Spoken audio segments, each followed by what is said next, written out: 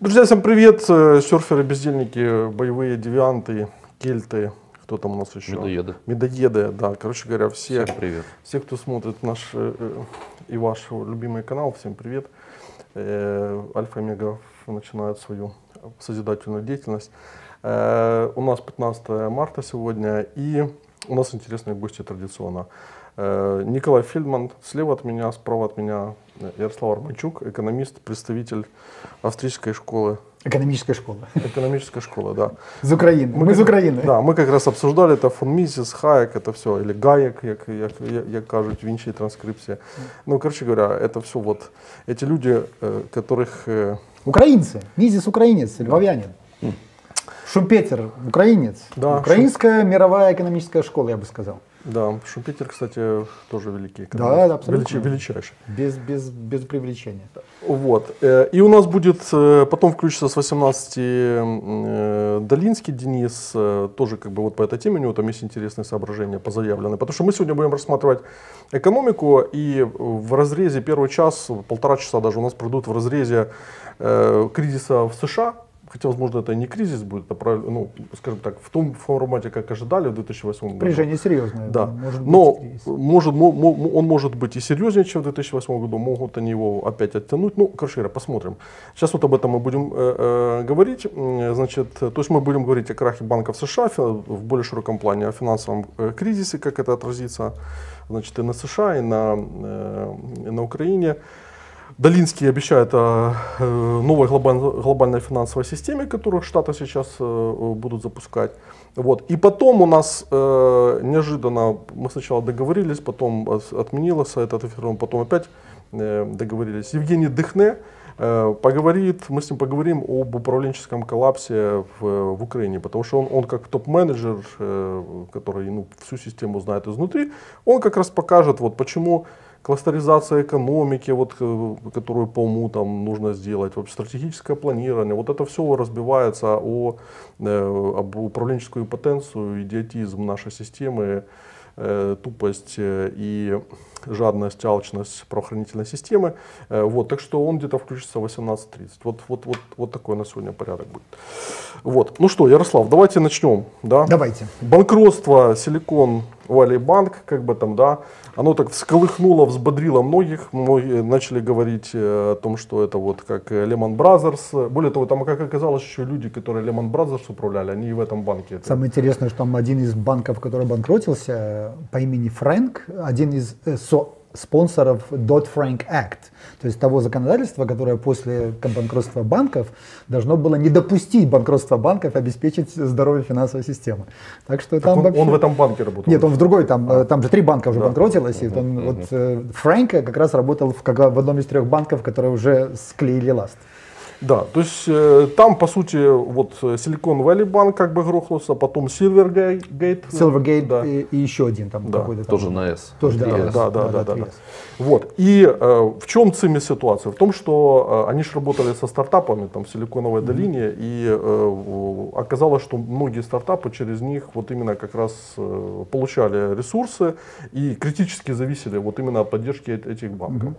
На самом деле, э, если взять немножко исторически, да, то 2008, 2009, 2010 годы, вот это период, период, когда американские законодатели задумались о том, а как же сделать стабильной э, всю финансовую банковскую систему, потому что до этого мы помним там, этот subprime mortgage кризис, который привел, собственно, к Lehman Brothers и очищению, к э, укрупнению банков. И надо было принимать какие-то законодательства, чтобы э, как бы минимизировать риски подобного вот рецидива э, финансового краха или банковского краха. Они приняли этот Dodd-Frank Act, э, который там большое-большое законодательство, и сказали все. Причем тогда Бернанке, глава ФРС, четко сказал, что мы принимаем там меры экстраординарной денежной политики буквально там на год, на два. Это значит увеличение баланса центрального банка. Мы э, поддерживаем финансовую систему, а когда вот это все закончится, горячая стадия, то есть когда температура собьется, там кровь остановим мы, все, все мы вернем на место. Да? И э, легко было на бумаге, но на самом деле все было совершенно не так. И вот за эти 15 лет э, баланс ФРС увеличился там по максимуму, был, по-моему, 12 триллионов. Сейчас он был 9. Почему начали 9? Потому что было 4 количественных смещений, quantitative easing, да, и вот когда уже последнее заканчивалось и вышли на уровень а, значит, все, что больше нельзя, да, э, случилась э, фискальная ловушка или фискальная бомба. Э, в экономику было влито там, порядка 3,5 триллионов долларов денег от правительства на поддержку от ковида. Да? Угу. И вот это вот добило вот ту хрупкую такую положение, которое было, и, естественно, это выстрелило в виде инфляции. А инфляция это такой зверь, который вот они 15 лет не могли его разбудить. Вот разбудили, выпустили джина из бутылки, и вот он начал уже проявлять и бить рекорды. С 40-летней давности, как мы помним, это все уже известно, там, там 6, 7, 8. И а, вот многие теоретики ошибались, что это инфляция носит переходный характер, что она за полгода, за год э, вернется на 2%, потому что 2% это там, уровень стабильности цен. А, судя по тому, что ФРС делает, судя по тому, что прогнозируют все международные организации, МВФ, ОСР, Европейские банки, Всемирный банк, а, снижение инфляции до уровня 2 будет в 2026 году аж. То есть это на самом деле реально серьезная проблема. И э, инфляция вышла на первое место среди списка всех проблем Америки. То есть это не то, что там э, большие финансовые организации, крупные корпорации. Это проблема каждого американца. Американцы просто разучились, они не понимают, как это такое. Значит. И, естественно, это был период, когда тестировали на самом деле целый ряд, целый ряд теоретических э, денежных теорий относительно того, что деньги уже отвязаны, вернее, инфляция и состояние денежного рынка отвязано от денежного предложения, денежные инструменты такие сложные, такие мы так умеем ими управлять, что инфляции никогда не будет. И вот было много обложек где-то во второй половине 2010-х, Uh, Economist, Business Week, Bloomberg, что типа все, inflation is dead, ребята, все, все нормально. И вот она, э, мы как бы как раз наблюдаем то, что писал великий Мизис в книжке «Теория денег и кредитов», а что мы говорили австрийской экономической школы, что на самом деле сколько бы веревочки не виться, но в конце концов, если ты э, нарушаешь законы денежного предложения, денежного обращения, то инфляция рано или поздно вылезет. Вот она вылезла. И э, Джером Пауэлл, глава ФРС, естественно, принимает адекватные меры. Вот повышение ставки от 0,25 де-факто от 0 до 4,5, да, это как раз то необходимое для того, чтобы сократить денежное предложение, убрать лишние деньги с э, рынка, давление. Но, как мы понимаем, это вот когда ты 15 лет находишься в режиме бесплатных или супердешевых денег, у тебя появляется совершенно другая система мотивации. У банка вот этого Silicon Valley Bank, как многих там десятков других финансовых организаций, перестроились бизнес-модели, да, то есть когда ты, э, у тебя, ты деньги не считаешь, да, ты, представляете, вот вы строите дом. э, в системе, когда коммуналка дорогая, один дом. Когда вы строите дом, когда коммуналка бесплатная, помните, в Советском Союзе было 4 копейки. Ну, кто там, угу. кто там обращал внимание на 4 копейки? Мы открываем Строили... окна, потому вот, что жарко. Вот, 300, 400, 500 метров. Вот то же самое было. И, э, собственно, вся модель вот банковского э, регуляторного рынка построена была на том, что эти деньги будут дешевыми или бесплатными, или даже негативными. Помните, был достаточно продолжительный период отрицательных процентных ставок, когда деньги, в общем-то, тебе еще доплачивали, чтобы ты взял кредит. И вот эта вот э, ненормальная ситуация, или как э, сказала Джанет Йеллен, которая сегодня глава э, значит, фина, Мин, Минфин возглавляет э, Америки, она говорит, ну все, ребята, пора э, как бы вот эту новую реальность как-то приземлять. Они начали приземлять, потому что борьба с инфляцией, значит, э, и правительство понимает, что жить в, в режиме дефицита больше триллион долларов опасно. Долг американский там уже 105-110% ВВП. Вот, э, долг, как вы знаете, там по студенческим только займам полтора триллиона, долг по кредитным карточкам триллионы долларов. Э, если ничего не делать, то к 2028-2029 году банкротство Medicare и Medicaid, это медицинская угу. страховка государственная, 2035-2038 год э, банкротство всей Social Security. Это гигантская пирамида, которая раздувается, раздувается. И вот э, к триггерам вот того, что сегодня мы наблюдаем, это только первая э, стадия вот этого вот э, кризиса, который может развиваться совершенно по разным траекториям, в от поведения. Но э, данный конкретный банк, да, он делал все по регулированию. То есть надо что понять. Это не потому, что банк что-то нарушал. Он работал согласно Дот Фрэнку, согласно всем тем регулированиям.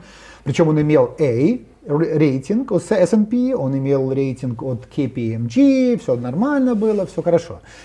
А, тот же Джером Пауэлл за неделю до этого, наверное, он там шляпу свою съел, говорит, что банковская финансовая система Америки в великолепном состоянии находится, ничего не грозит, мы эффективно работаем с инфляцией, и мы войдем в режим низкой инфляции без никаких последствий. У нас будет низкая безработица, у нас будет э, все стабильно, все хорошо. То есть это было опять-таки то допущение, которое э, не оправдалось уже совершенно очевидно. Да? А, напомню, что э, тот же Джером Пауэлл признался в совершении теоретической ошибки, когда он говорит, что он не поверили в транзитивный переходный характер самой инфляции. Вот, и сегодня, значит, они собрали все, вот когда в субботу это случилось, они в воскресенье экстренное совещание, там, тот же там Байден утром в 9 утра встает и успокаивает нацию, э, и он на самом деле не решает проблему, да, а просто как бы вот действует как пожарник, который нужно просто там четко затушить пожар, или как э, врач, которого тут есть кровотечение, и он просто в режиме там экстренном э, останавливает эту кровь. Остановить кровь они остановили, но и вот там сейчас мы должны осознать объем или размер, размах этой проблемы, которая есть в банковском финансовом секторе, а потом и во всех остальных, потому что понимаешь, что банковские э, дела это всего лишь верхушка айсберга. И э, капитализация банка уже минус почти полтриллиона долларов. Э, в, значит, в списке американских финансовых изданий ходит там список 30 банков на вылет, вот, собственно, которые могут обанкротиться. 30? 30, да, 29, по-моему, там 30, то есть там написано. Но самое интересное будет, вот тоже я внимательно наблюдаю, за Credit Suisse. Да, рухнули на 30% вот. Э, акции. Вот И это только акции. Почему? Потому что поведение Credit Suisse уже около года вызывает проблемы, озабоченность, как когда-то была э, Commerzbank, Deutsche Bank, тоже спасали через разные схемы, да. И если вот э, дойдет когда спасаешь ты банк 250 миллиардов долларов капитализации, для Америки это, ну, на самом деле, копейки, да? То есть это проблема э, не такая большая. Но когда ты э, вот эта вот ржавчина или токсичность доходит до системообразующих банков мира, угу. Вот, да, то есть это уже совершенно другой момент, и вот здесь может быть лавина какая угодно. Давайте я зачитаю, вот здесь слово как раз по, по Credit Suisse. Э, проблема в чем? Один из крупнейших швейцарских банков, Credit Suisse, выявил существенные недостатки в своей финансовой отчетности за 2021-2022 mm-hmm. годы. Об этом говорится в отчете, в годовом отчете организации. На фоне краха трех крупных американских банков и собственных проблем Credit Suisse, э, уже швейцарскому э, банку уже предсказали банкротство. Он должен был обнародовать свой годовой отчет еще 9 марта, но отложил публикацию после претензий комиссии по ценным бумагам и биржам США. У регуляторов, в частности, возникли вопросы к отчету банка по потоку свободных средств, mm-hmm. свободных денежных средств 19-20 года.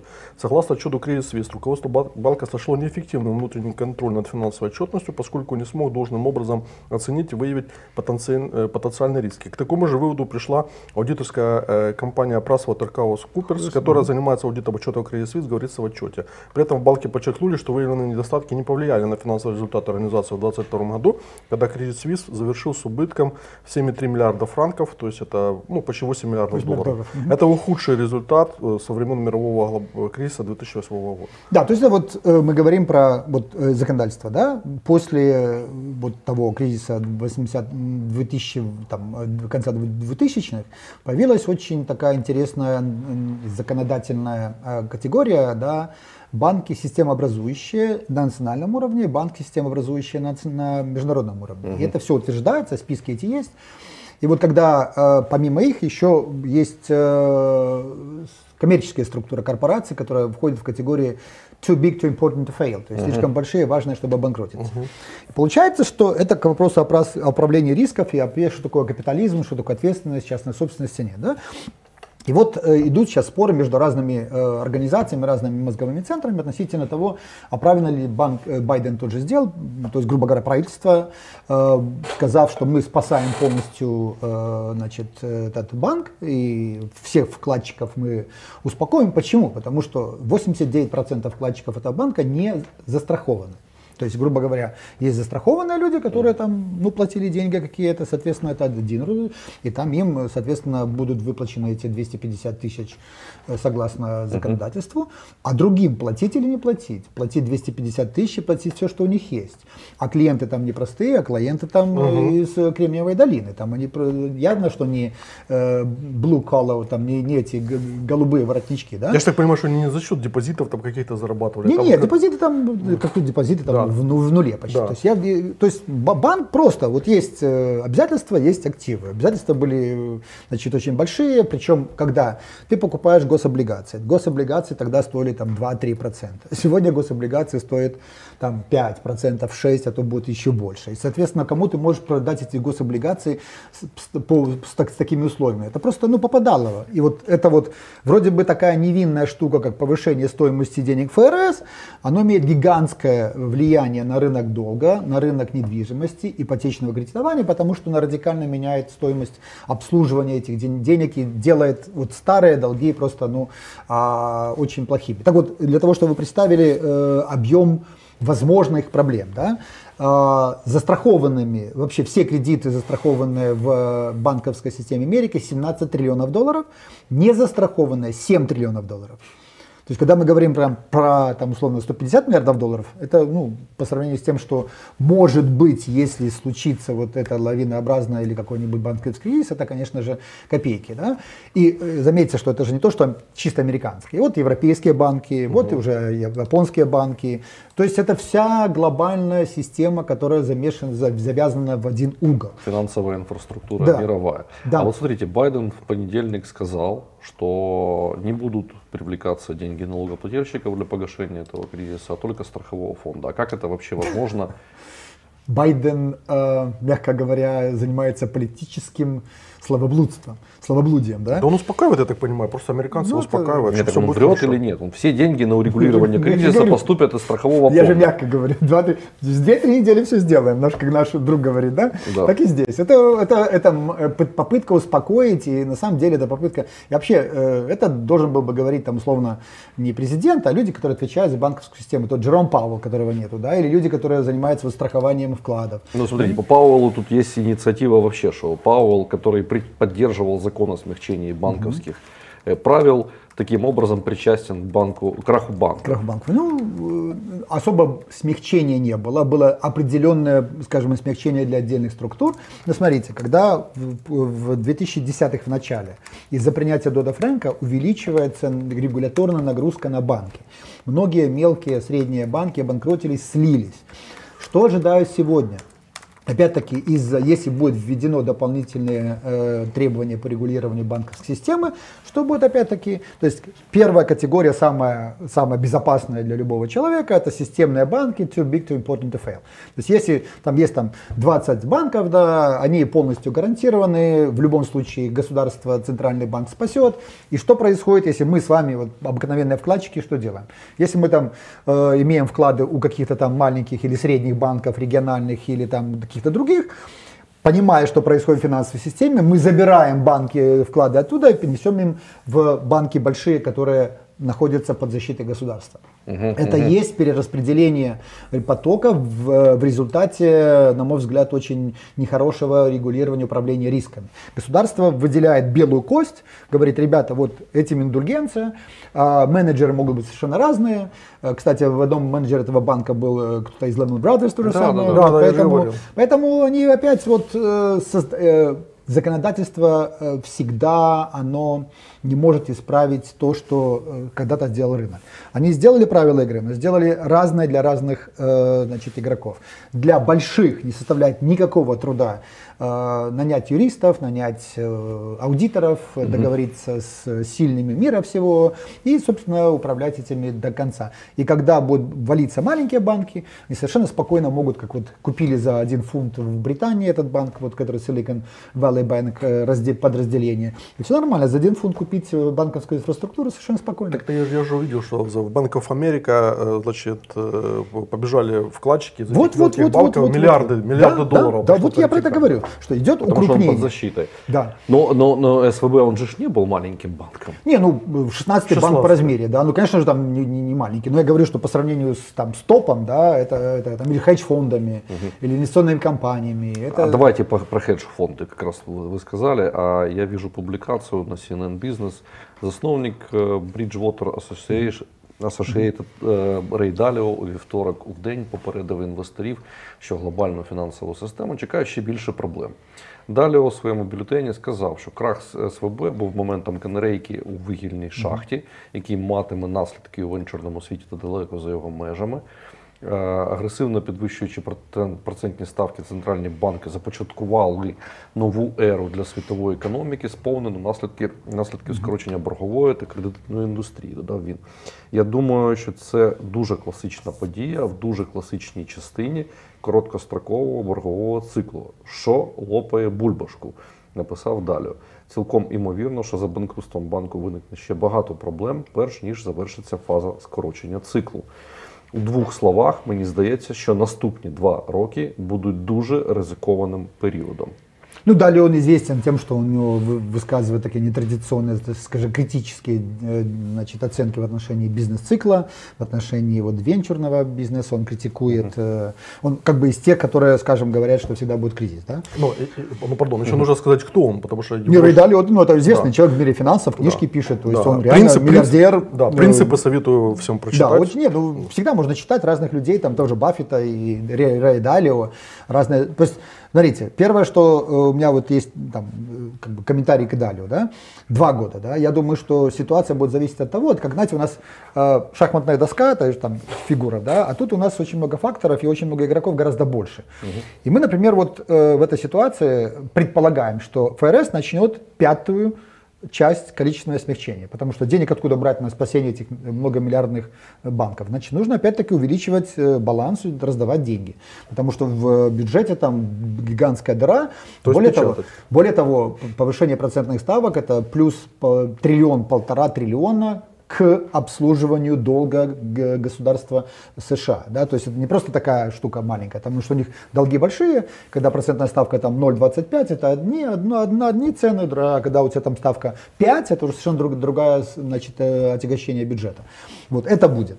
А, и вот вопрос, Джером Пауэлл, он э, будет как Волкер, он будет как э, Бернанке вести себя, или он будет вести себя как человек, который ну, не, не захочет брать ответственность за падение, вообще за крах финансовой системы, которая реально может быть. Вот за этот avalanche, как Бернанке сделал. И никто этого не знает. То есть он себя ведет так, он э, неделю назад говорит, что мы должны более агрессивно вести себя на рынке денег, потому что э, инфляция по-прежнему высокая, и мы говорим, не исключаем там повышение процентной ставки на, на, на 50 процентных пунктов, на, на 0,5%. А сегодня, понятное дело, он этого делать не может. И, вот, и вопрос э, вот такой, что же будет?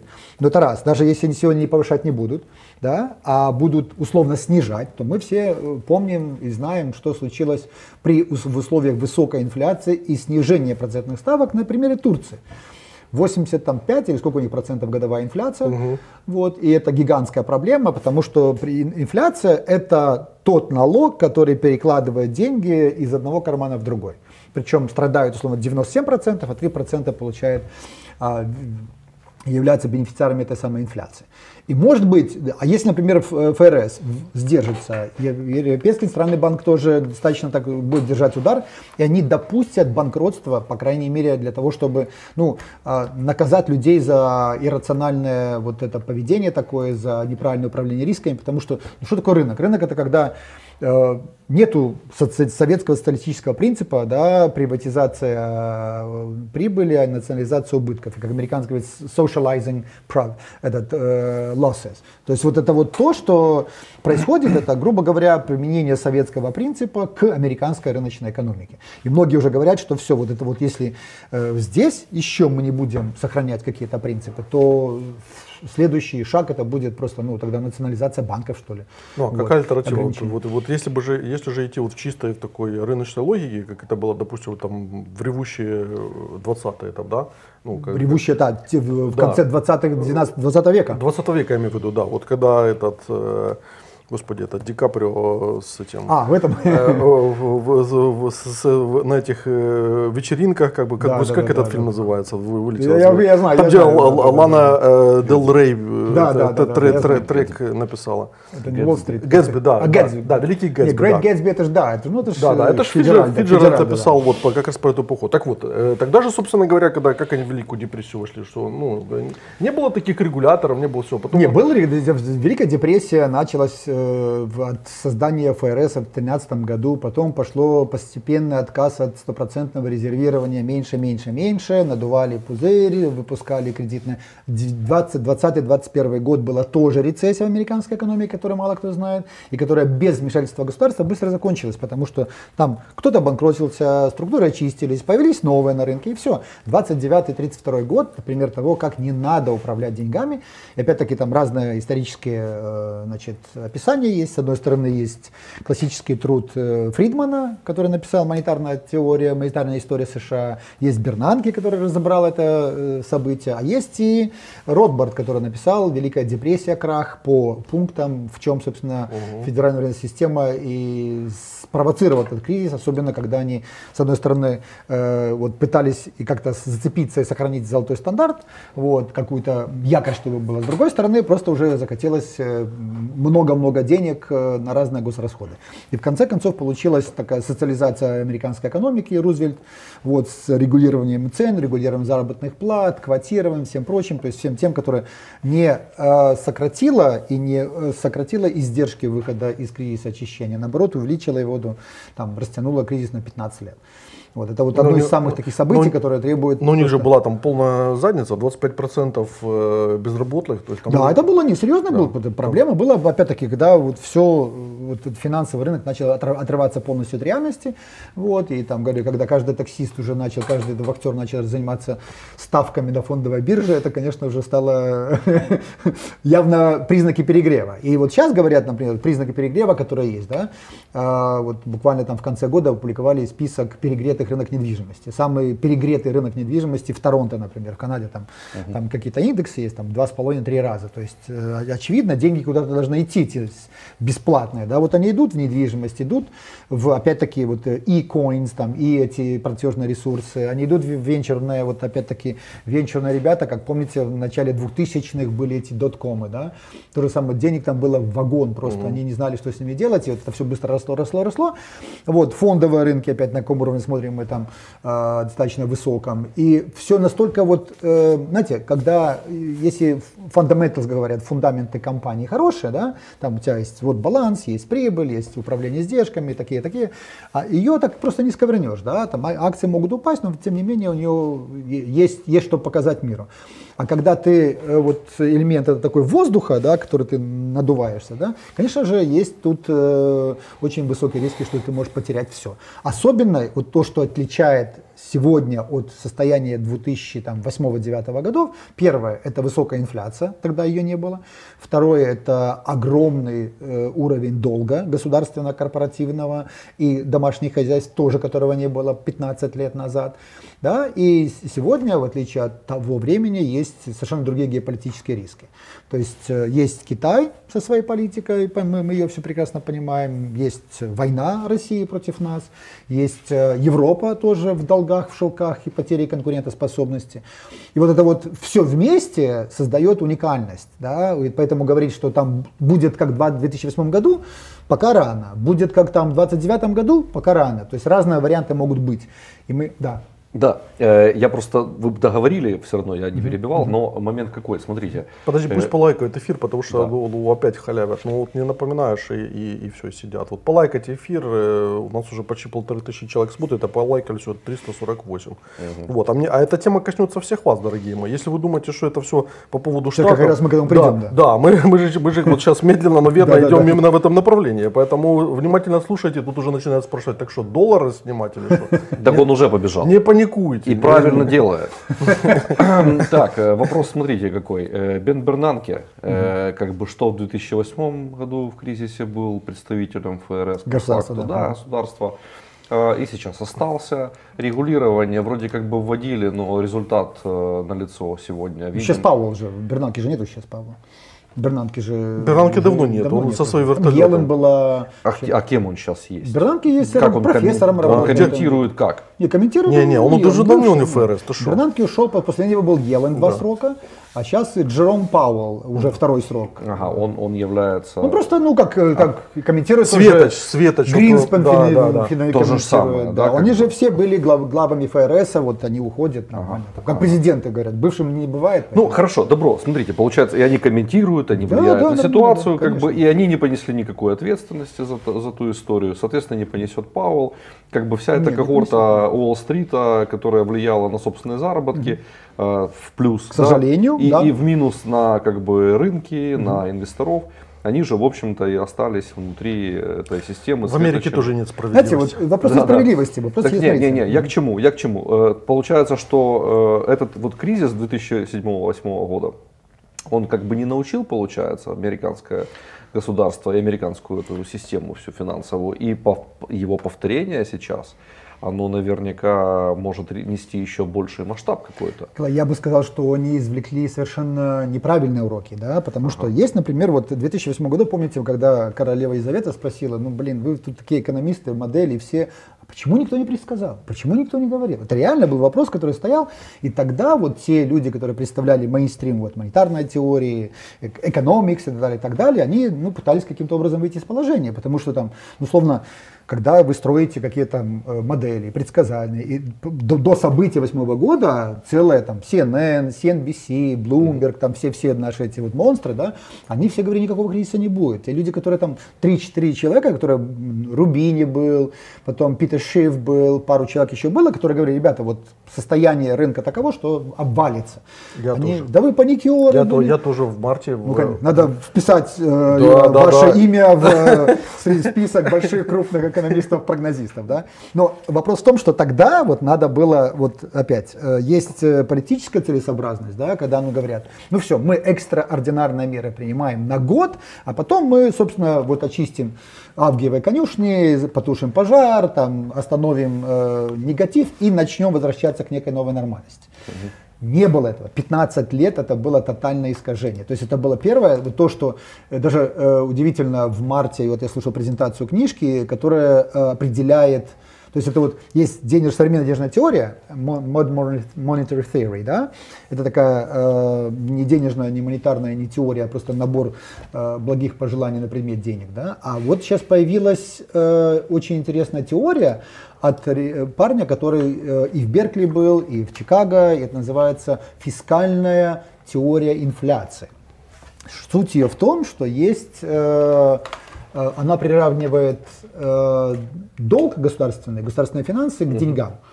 Вот. И получается, что в случае, если там ты строишь какие-то модельки уравнения, да, то не имеет значения, ты либо эмиссию денег делаешь, либо просто долгом занимаешься.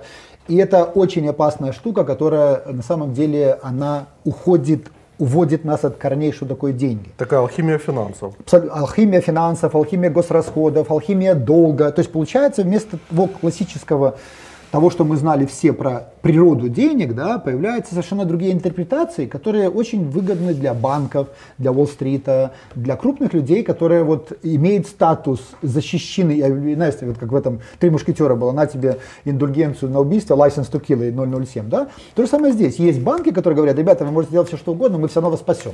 Какое у тебя управление рисков может быть? Назначают людей, которые просто делают э, совершенно другие вещи. Там, как э, люди издевались там, над этим руководством этого э, Silicon Valley Bank, Говорит, вот буквально за неделю до этого они не э, готовили там балансы, не готовили какие-то меры против э, вот такого развития ситуации. Они занимались там экологической повесткой дня, гендерными какими вопросами. То есть они были в ESG вот, в том, что э, политически корректно, woke culture, вот они распространяли ее вместо того, чтобы заниматься финансами.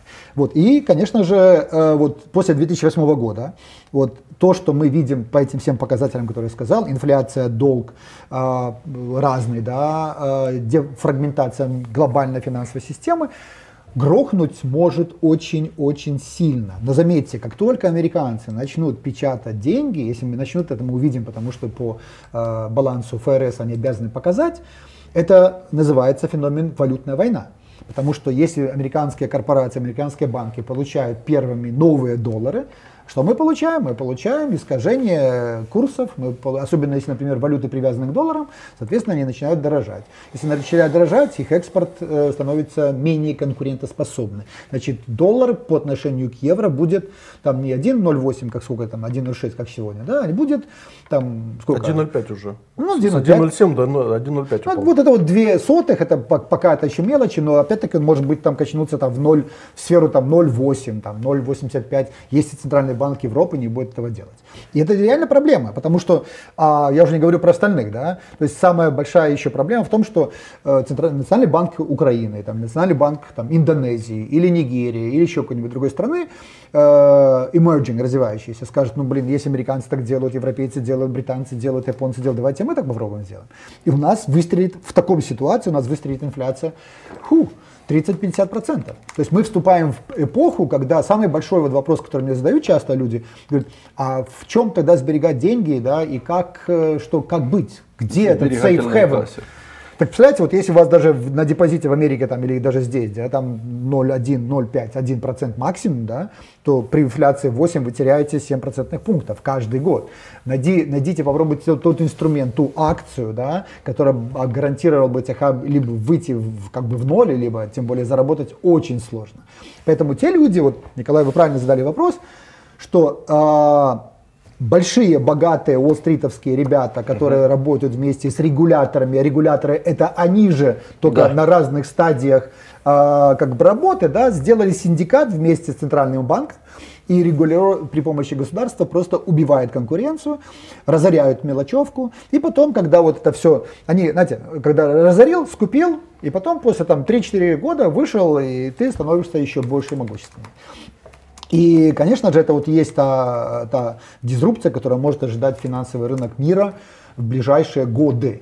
Когда он будет, понятное дело, никто не знает, это не, не вопрос к экономической науке, вот, это уже спекулятивные вещи, но вот Далио постоянно говорит, что вот два года, э, многие другие люди говорят, что вот, помните, есть такой интересный э, скандинавский банк, как он, Саксо банк, uh-huh, они uh-huh. делают такие wild, дикие прогнозы всегда, они тоже говорят, что в этом году посыпется, вот, я, когда вот одну из последних книг своей писал, э, что вот по состоянию э, вообще структурной структуры мировой экономики, по взаимоотношениям между деньгами и реальным сектором, э, не может не быть Великой депрессии в 2020-х. Не может просто не быть. Не может не быть. Не может не быть. Она будет 100%, потому что, ну, э, сколько веревочки не видится, вот эти вот веревочки, когда вот почему в 2000, там, в предыдущий кризис финансовый, там, Великая рецессия, да, она не закончилась там очищением, потому что залили, залили, залили, и они думали, что, собственно, каким-то образом э, рыночные механизмы включатся и выйдут на здоровую структуру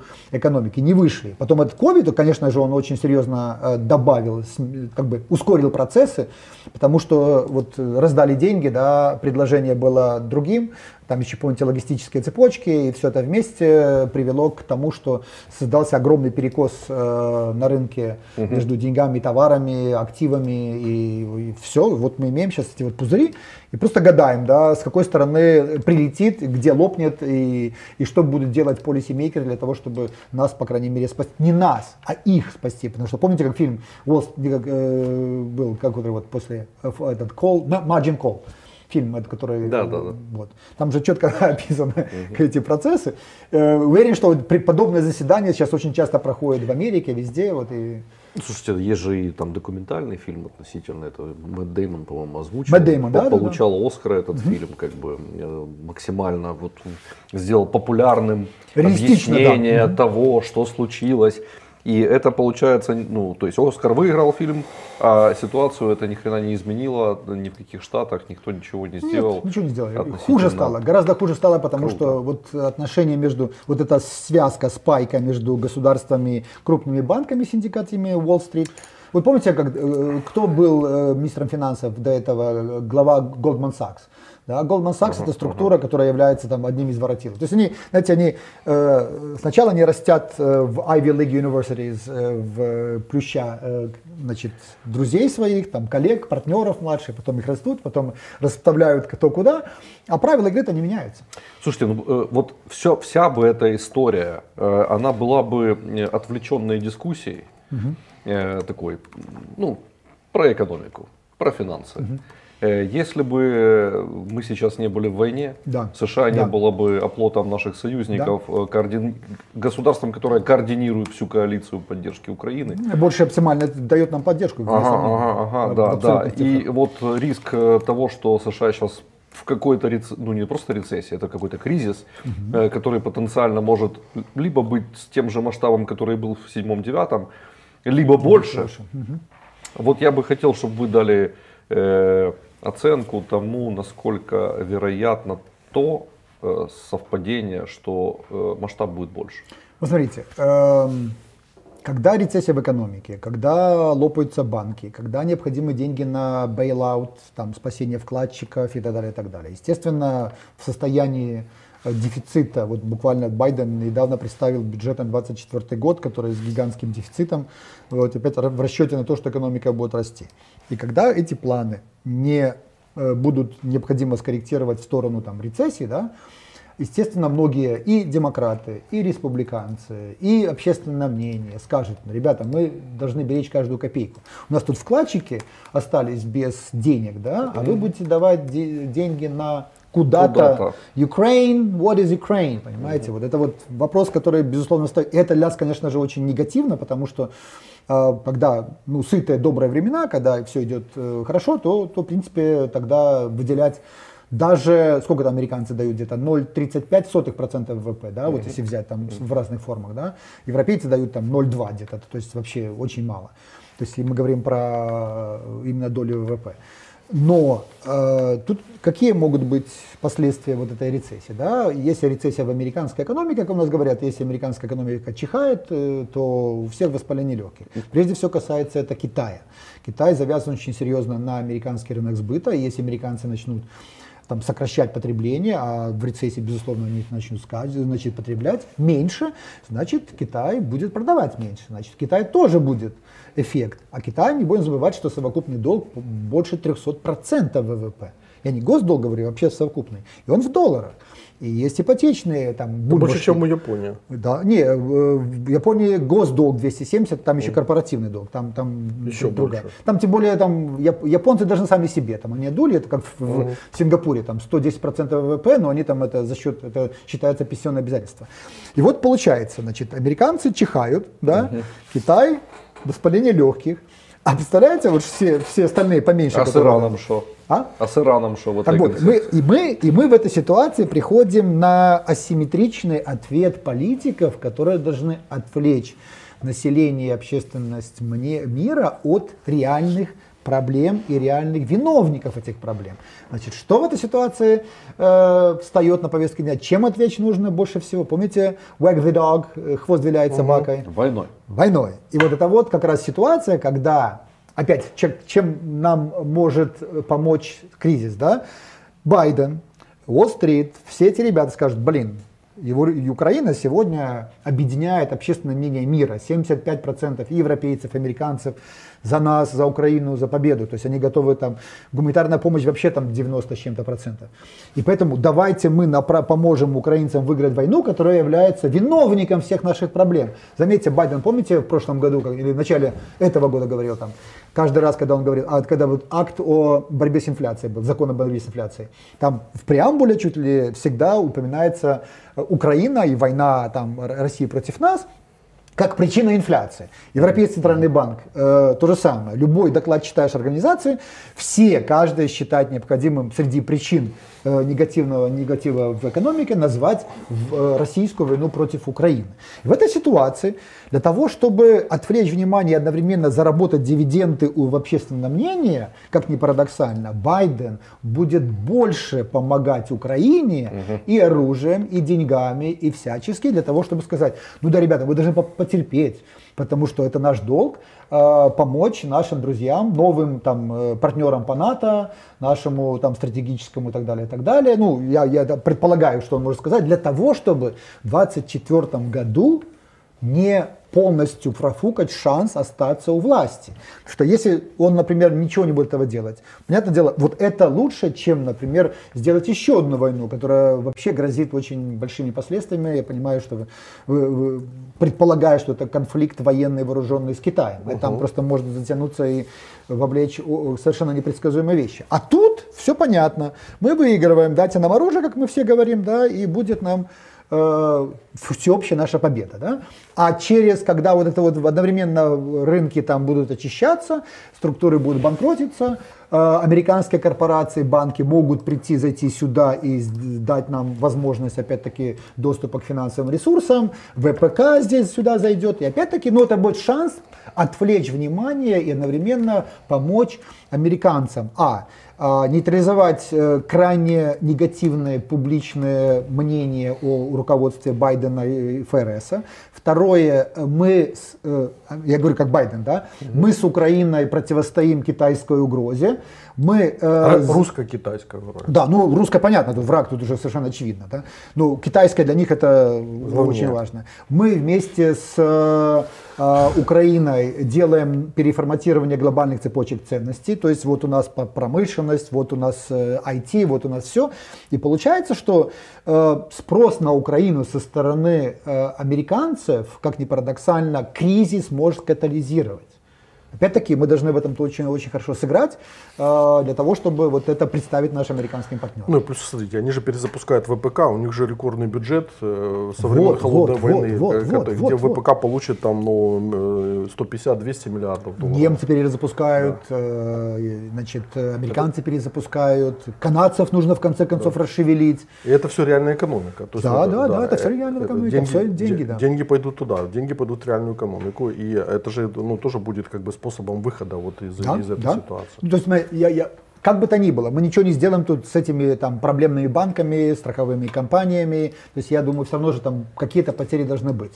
Но опять-таки, э, общественное мнение, вы лучше знаете меня, вы работаете с информацией, да? Что люди думают, как им это подносить. И если есть какие-то э, благородные, мощные эмоциональные э, нарративы, которые Байден, э, НАТО, международные организации будут говорить в отношении э, Украины, представляете, вот мы в этом году побеждаем вместе с американцами. Наши флаги на, в Крыму, наши флаги на, в Донбассе везде, американцы все э, на радостях проголосуют за Байдена, скажут нормально, молодец, он победил. А если он этого не сделает? Вот на чем могут демократы вообще проводить кампанию 2024 года, если, не дай бог, будет эта рецессия, будет схлопывание банков, финансовых секторов. У нас нету, поэтому они должны нас упрашивать. Возьмите оружие, возьмите деньги, возьмите наше ВПК, потому что вы э, на самом деле можете э, помочь нам э, вот, продлить наш политический цикл. Не, у них все, у них все повалится, потому что э, республиканцы плотно сидят на социальной повестке, они критикуют э, там. Так сейчас любой бы человек, знаете, вот если да. бы вот в таком э, состоянии, вот, кстати, вот то, что сделал Fox News, да, вот последние на этой неделе, да, они разослали для шести потенциальных республиканских кандидатов, да, угу. там анкету, шесть вопросов по Украине именно, да. И э, Десантис разочаровал, угу. откровенно, да. Самым хорошим был ответ и Майкла Пенс. Э, Майк Пенс, Пенс, который, Пенс, да, и Рубио. Да, ну да, он все традиционно, он угу. лучше все понимает. Ну что на самом деле так Десантис, он никогда не вовлечен во внешнюю политику. Он просто там три, парень еще молодой, поэтому... Он, да он смотрит на, на, на социологию, видишь, да, что да, вот, да, вот, да, у да, Трампа да, нужно выиграть циничная Циничная политика. Ну, ну, я к тому, что э, вот они все будут голосовать. Есть, понимаете, американцы, вот, э, опросы опять-таки Pew Research, потом Gallup, они говорят, самая основная проблема, там 75% инфляция. Они не могут не бороться с инфляцией. И вот представляете, на какой э, растяжке стоит сегодня Пауэлл. Да? С одной стороны, он отвечает за стабильность цен, он понимает, что там 6-8% инфляция это смерть, да, нужно сокращать до 2%. А с другой стороны, если он только начинает повышать процентную ставку свою вот, э, базовую, да, тогда у него сыпятся банки и финансовая структура, и дефицит бюджета просто гигантский. Вот как он поступит? то ли там пойдет, гру, грубо говоря, черными играть, или пойдет э, белыми играть, пойдет в нападении, пойдет в защиту, мы просто можем только гадать. Какие сценарии, вот условно говоря, э, как вы видите, в, вот вариант А, вариант Б, вариант С, там, да? По вероятности. Да, по вероятностям. И, и как эти сценарии бьют по нам? Ну это вот э, угадайка, да, мы сразу говорим, что тут никакой науки здесь нету, в отличие от... Битва э, экстрасенсов. Да, не, не. Я, сегодня, я, сегодня описал, я сегодня описал, что очень жаль, что э, из этого, э, из телемарафона исчезла битва экстрасенсов, потому что, ну смотрите, вот э, долгие годы, 20 лет сидели mm-hmm. эти люди. Раскрывали вот, преступления. Раскрывали преступления, да. Я говорю, так посадите, я, я говорю, так посадите их, пусть решают проблемы армии. Тебе же написали там в комментах, что они наверняка уже все работают в Генштабе. Да, да. Пусть, пусть, пусть в прямом эфире рассказывают, у русских планы такие, наступать да, Но это, мне кажется, это как бы ну, очень круто было бы. У многих бы успокаивало. Ну и здесь сейчас вот этот этап нашего разговора. Давайте возьмемся за руки вот так вот. Втроем. Это этап нашего разговора. Это вот как мы как будто сидим перед э, сегодняшним матчем Лиги Чемпионов и пытаемся угадать, как будет играть там Реал с Ливерпулем. Да? А, сценарий номер один. Э, опять-таки, понимаешь, что... Ливерпуль выигрывает. Ну, это было бы чудо, там, с 5 э, Сценарий номер один. Зная Павла, зная Байдена, зная э, влияние Уолл-стрит, шансов на то, что будет жесткое, жесткое там, so, там hard landing, да, то есть это жесткое, значит, как-то... Обрушение. Не обрушение, посадка, жесткая посадка. Mm-hmm Э, практически нету. Да? То есть я думаю, что все-таки ФРС сломается, он будет давать деньги, и они пожертвуют, то есть все-таки они предпочтут более высокую инфляцию, угу. чем э, рецессию. Угу. А это позволит, э, опять-таки, то, что было в конце 2000-х, 2010-х. Банки, которые по-другому будут смотреть на свои балансы, они пересчитают э, свои деньги, свои активы, ресурсы под процентную ставку 4-5, а не под 2, как это было, да? И они, те, которые большие, переложатся, э, сделают новый портфель и выйдут еще сильнее. Таким образом отсрочатся решение да, проблемы, да, да, да, пузырик да, увеличится. Да. То есть, грубо говоря, они э, то, что плохое, они фу-фу-фу, нам не нужно, да, они распихают его по всему миру, распихают там по средним малым банкам. А государству то же самое достанется какая-то часть. То есть им главное на полтора-два года да. до политического цикла да. выждать. Я думаю, что эти два года они будут держать вот именно такую политику. Это как они с, с Фанни Мэй это делали, да? Фредди Мэй, Фредди Мэй, они да, с General Motors сделали, да. они тогда вот эти AIG было, это которая страховая компания была, которую, которую национализировали. То есть это все государственные страховщики, государственные игроки. Да. То есть никакого там рыночных механизмов нет. Мы, к сожалению, должны констатировать олигополию на финансовых рынках uh-huh. Америки, это совершенно очевидно. А, второй по вероятности это сценарий такой, который, например, то есть есть монетарная часть есть фискальная часть. Да? Монетарная политика это когда вот они процентные ставки, и они могут, вот, то, что попытается сделать Пауэлл, потому что он понимает губительность этого количественное смягчение 5, да, он скажет, ребята, ладно, мы давайте сделаем, э, согласно закону, 250 тысяч долларов по вкладам мы вернем, потому что мы страховали, а все остальное, сори. Помните, когда вот были банкротства кипрских банков? Там же возвращали там 60%, по-моему, депозитов, которые были. То есть минус 40% э, люди потеряли, сказали, ну все, вот, либо, либо так, либо никак. Это вот А. Но самое главное еще вот здесь, что будет твориться с э, фискальной частью, с бюджетной частью. И здесь вот тоже будет большая борьба, потому что э, закон, который они приняли там с помпой, представили о борьбе с инфляцией, да, либо они не будут его выполнять, потому что другая ситуация, потому что накачивание экономики сегодня там на 3 триллиона долларов, это просто реально разгонит инфляцию до очень там, уровня там, 10% плюс. Но правительство откуда надо брать деньги? У американского правительства надо резко увеличиться э, суммы на обслуживание долга да, потому что 4% с половиной уже ставка, и это не, не то, что раньше было. Значит, надо будет либо налоги повышать, а налоги повышать какие? И опять-таки Трамп, Трамп говорил, ой, этот э, Байден может пойти на что? На то, что он огласил, на повышение налогов на богатых. То есть он говорил, ребята, надо, чтобы вы, э, то есть, говорит, 3%, когда вы платите ставку подоходного налога, а это реальный факт, да, то есть там это вот Безос 3% заплатил, там многие другие там топ-миллиардеры платят подоходный налог по ставке 3%. Это все согласно закону, ничего не обманывают, просто так устроено законодательство. Вот, и э, вот тогда это тоже будет популизм, и что будет? Тогда э, со стороны богатых людей корпораций, они будут искать э, те юрисдикции, опять-таки это шанс для Украины, которые могли бы принять их деньги, Ирландия. И забрать вообще не, смотрите, навсегда. Друзья, на самом деле э, мы живем в мире конкуренции юрисдикций. Да. Ирландия ее великолепно выигрывает, потому что вы знаете, что с э, ВВП Ирландии это страна, которая там имеет больше 100 тысяч долларов на душу населения, потому что она сумела договориться с большими там Apple, Facebook, э, да. Alphabet и так далее, и так далее. Почему бы нам не воспользоваться этим шансом и представить благоприятнейшие условия и юридические, и правовые, и судебные для тех компаний, которые будут искать safe haven. У меня, у меня только лезут всякие непри, неприличные шутки в ответ на это. Почему? И... Не-не, ну я понимаю, что я просто говорю, что это шанс теоретический, да, но мы, к сожалению, имея вот э, такое законодательство, и я напомню, что Украина по индексу финансовой открытости, который определяет свободу перемещения капитала из страны и в страну, на 169-м последнем месте в мире. Ну, нормально. И нам перейти из категории этой в категорию там топ-30, ну, это надо поменять полностью вообще э, монетарную, финансовую и регуляторную политику. Да, я... Смотри, выведем Дениса, он уже на связи. Да, он да, может, супер. думаю, потому что у него как бизнесмен, он смотрит эту ситуацию, он mm-hmm. еще и зарабатывает э, в этой ситуации. Привет, Денис. Добрый вечер. Звук включите. Да, нам в студию, пожалуйста. Звук включите нам в студии. Уже есть, говорят. Да. Доб- добрый вечер. Очень понравилась ваша дискуссия. Спасибо за гостя. Я просто получил огромнейшее удовольствие, слушая вас. Спасибо.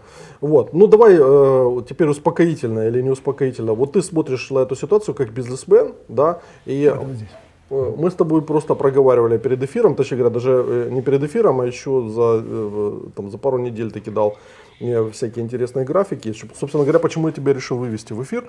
Потому что, э, ну, ты говоришь, что вот в этой, в этой ситуации э, Штаты будут ее использовать, какие после Великой, э, и в ходе, и после Великой депрессии, для того, чтобы перестроить и свою финансовую, экономическую систему, ну и, собственно говоря, глобальную архитектуру. Вот. И я здесь согласен на том, что война в этих условиях является Отвлекающим маневром? От, отвлекающим маневром. Я это все писал в, в своем докладе, который, к сожалению, вы не цитируете, но глобальный суперкризис и риски для Украины. Он обязательно есть. нужно вас да. Рубини и да. Юрий Романенко. В апреле, в апреле 2008 года Рубини не дотянул, не дотянул до меня, к сожалению. Вот, но это, ладно, я, я не тщеславный. В третьем году, в 23 году исправим. Вот. Э, Денис, твоя версия. Вот что они будут делать? Ну, на сегодняшний день вы видите, да, как начали сыпаться американские банки. И это ж э, как бы звоночек, э, в принципе, всей финансовой системе мира. За американскими банками резко последовали европейские банки. Вот. И это ж как бы только начало пути. Вот. Всегда самые такие технологические банки, они терпят э, как первые тревожные звоночки. Вот. И сегодняшний, например, вы уже проговаривали ситуацию с Credit Suisse. А такая же ситуация с BNB Paribas. Сегодня BNP Paribas тоже показал падение. И это же, как бы, можно сказать, вторая неделя, да, ну, вот после, скажем так, событий, которые должны были начаться на прошлой неделе. Всегда дно рынка нащупывается там в течение ближайших трех-четырех недель. То есть нас еще турбулентно ждет вот на протяжении трех недель. И то, что а, Америка строит новую финансовую архитектуру мира, это да, и они будут лидерами этой финансовой а, всей структуры. И это не секрет. Вот Джером Пауэлл на днях в Конгрессе выступал, он сказал, что уже протестированный и у нас уже готовая система, основанная на CBDC. Это по сути цифровой доллар. Это то, куда мы идем. Это сейчас Тестируется Китая юань, например, в Украине цифровая гривна, которая построена на системе Stellar. И Ой, это по сути да, это по сути одна большая бухгалтерская книга, где каждые транзакции будут учитываться. Она построена на блокчейне. И про вас будут знать все, где вы что купили, когда купили, конкретно какое количество. Там будет абсолютно вся информация зашита в блокчейн. И на сегодняшний день тесты подходят к завершению протоколы на перезагрузку всей банковской системы, финансовой системы, глобальной, они в принципе уже активированы, потому что а, это не может же быть так. Вот смотрите, банки Америки а, на сегодняшний день имеют долгов, ну по сути, более чем 550 миллиардов, да? Ну, по сути, они банкроты. И э, объявили вот буквально вчера, что там спасательный круг будет на уровне 25 миллиардов. Это ни о чем. То есть это не та ликвидность, которая нужна банковской системе Америки. и те инвесторы, которые, допустим, вложили бизнесовые деньги в эти банки, депозиты, да, или держали деньги в этих банках, как сказал президент Байден, а, они не застрахованы, они взяли на себя риски. И так работает капитализм. То есть о чем это говорит? Что эти люди потеряют ну, вложенные средства. Поэтому а, сегодня люди, вот с понедельника в Америке во многие банки начали обращаться за возвратом своих денег, чтобы взять, снять наличность. А, потому что это цепная реакция. А, можем ли мы говорить, что сегодняшняя вся система это схема Понци или не можем? Но вот я считаю, что так и есть, потому что, смотрите, неограниченное количество денег, ну то есть это пирамида, потому что э, центральные банки каждой страны печатают столько денег, сколько хотят. В 2017 году я еще предсказывал, что это, а, это нас ждет в будущем. И вот COVID это был катализатор, когда выпустили невероятное количество денег. Это ж не только в Штатах выпустили там 3 триллиона долларов, да, которые размылись по всему миру. А еще выпустили и центральные банки европейские, и еще азиатские банки. Вот, например, на сегодня Китай, а, Китай активно заливает ликвидность в экономику, в банковскую систему. Сегодня ликвидность банковской системы Китая, она уже вышла на уровень 2020 года, когда а, был COVID. А тогда мы знаем, самые огромные большие, самые большие были вливания денег. Поэтому вся эта денежная масса, она же все равно, она не может просто, как бы, знаете, ну, переработаться в один момент. А Ее же нужно осваивать, эту денежную массу. Она все равно будет э, идти на какие-то остатки, на какое-то производство. То есть инфляция дальше будет раскручиваться. И я согласен э, с вашим гостем, что э, Америка, Америка сегодня и Джером Пауэлл, они на большой растяжке. С одной стороны, у них маховик инфляции, с другой стороны, у них, слушайте, у них ну, нехватка ликвидности банковской системы, потому что руководство банков жило на широкую ногу, а спред, ну или, допустим, разница между Э, процентами гособлигаций и депозитами, она на самом деле невелика. Но вот, допустим, вы выдаете депозит, вы принимаете, вы даете депозит под 0,5%, да, а государственная бумага у вас, гособлигация американская, под 1,8%. То есть вы зарабатываете всего лишь вот эту разницу между 1,8% и 0,5%. Это очень мало. Вот наши бизнесмены с Украины бы этому рассмеялись. Но за такой процент невозможно, например, в Украине выжить. А в Америке вполне. Угу. Смотри, в этой ситуации что делать? Ну, вот те люди, у которых есть деньги, ну, даже небольшие сбережения какие-то, вот и они сейчас испугаются там, да, то есть э, э, Ярослав говорил о том, что инфляция может как бы э, скакнуть, если, не, ну, если она не будет вот спутана там как-то там, да. Вот то, что они попытались сделать, потому что сейчас, они, вы же правильно оба говорите, что они на растяжке. Соответственно, как, как сберечь капитал, потому что инфляция в долларе там в 10% в год, там, да, ну это, это существенно для, если ты просто деньги в, в кубышке держишь под подушкой, это означает, что за год они у тебя на 10% да. обесценились и все. Вот, это по сути налог. Как, опять 10% это в общем. А, вот вы смотрите, вот в Америке, допустим, вот если взять, э, посмотреть структуру самой инфляции, да, вот, э, всем известные, все смеются с, с яиц, да, но в Америке яйца подорожали вот опять, да, за месяц буквально больше, чем на 20%. То есть о чем это говорит? Потребительская инфляция, она намного выше. То есть еда, ну то есть масло, яйца, хлеб, она по сути, ну, эти продукты дорожают быстрее. Общая инфляция, да, она может там порядка быть 6-10%, но потребительская это то, что бьет по населению в первую очередь, по незащищенному населению. Да, и они вынуждены каждый месяц все больше и больше тратить на продукты питания. Ну, по сути, им как бы денег на это и хватает. Это же большая категория. См- см- Смотри, смотри, это очень важное наблюдение, потому что же э, война э, Украины с Россией напрямую с этим завязывала, потому что э, десятки миллионов тонн зерна и, и продовольствия оказались в подвешенном состоянии, не только из Украины, но и из России. И в свою очередь слабые страны, ну, у которых, которых нет доступа к своему продовольствию, они находятся в, ну, в очень сложной ситуации, как это было во время арабской весны в 2011 году, когда вот этот э, рост цен на продовольствие привел к тому, что рухнули там ряд политических режимов на Ближнем Востоке, которые десятилетиями там плавали. И э, сейчас вот эта ситуация, она может повториться, потому что с учетом вот этой инфляции, которая может пойти из, э, и пойдет из Штатов, как бы там, да, из Европы, она начнет как цунами распространяться на э, э, третий мир вот где мы находимся. И э, с учетом того, что блокируется еще доступ продовольствия, то это будет вот иметь, э, ну, э, мож, может привести к тому, что на том же самом Ближнем Востоке там, или в Африке э, ну, начнет колбасить вот эти вот рынки, потому что люди начнут требовать дешевого продовольствия, либо, либо, ну, либо обеспечения какого-то денежного, чтобы можно было по высоким ценам закупать, а продовольствия не будет. Ну, и, ну, короче говоря, будет турбулентность при таком раскладе. На, на самом деле ты абсолютно все правильно говоришь, и твои наблюдения, то, что война э, в Украине это сегодня э, как бы одна из карт одной большой глобальной игры мировой, которая, вот мы живем в историческое время, это, это глобальная игра, и мы как бы самые активные участники, как, как не прискорбно признавать, э, этих всех событий. Почему? Потому что будет не просто передел ресурсов, передел активов, передел финансов, передел продовольствия, это, в принципе, меняется вся география и весь мировой порядок меняется. То есть, и э, это к чему все идет? Это идет все к тому, что меняются абсолютно правила игры, те, которые были до 2000, допустим, 2020 года до ковида, и которые сейчас, это абсолютно уже другие правила игры, и другой мир.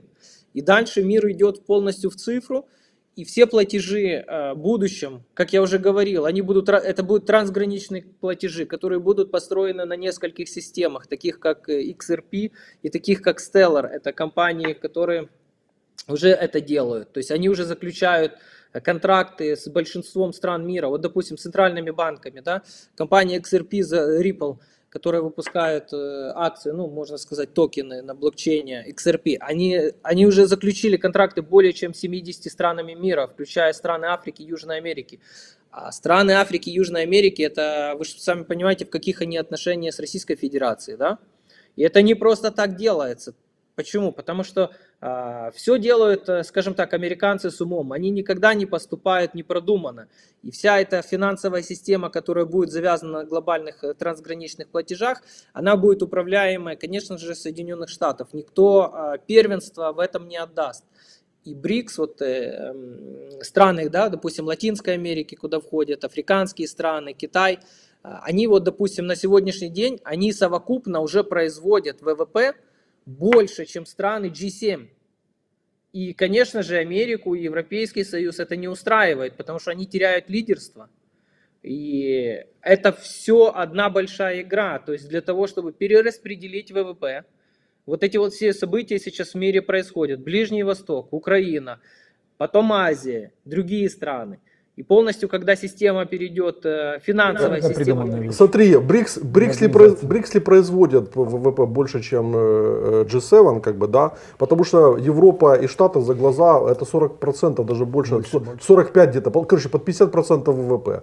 Потом еще Япония, э, Канада, Канада и кто там еще остался?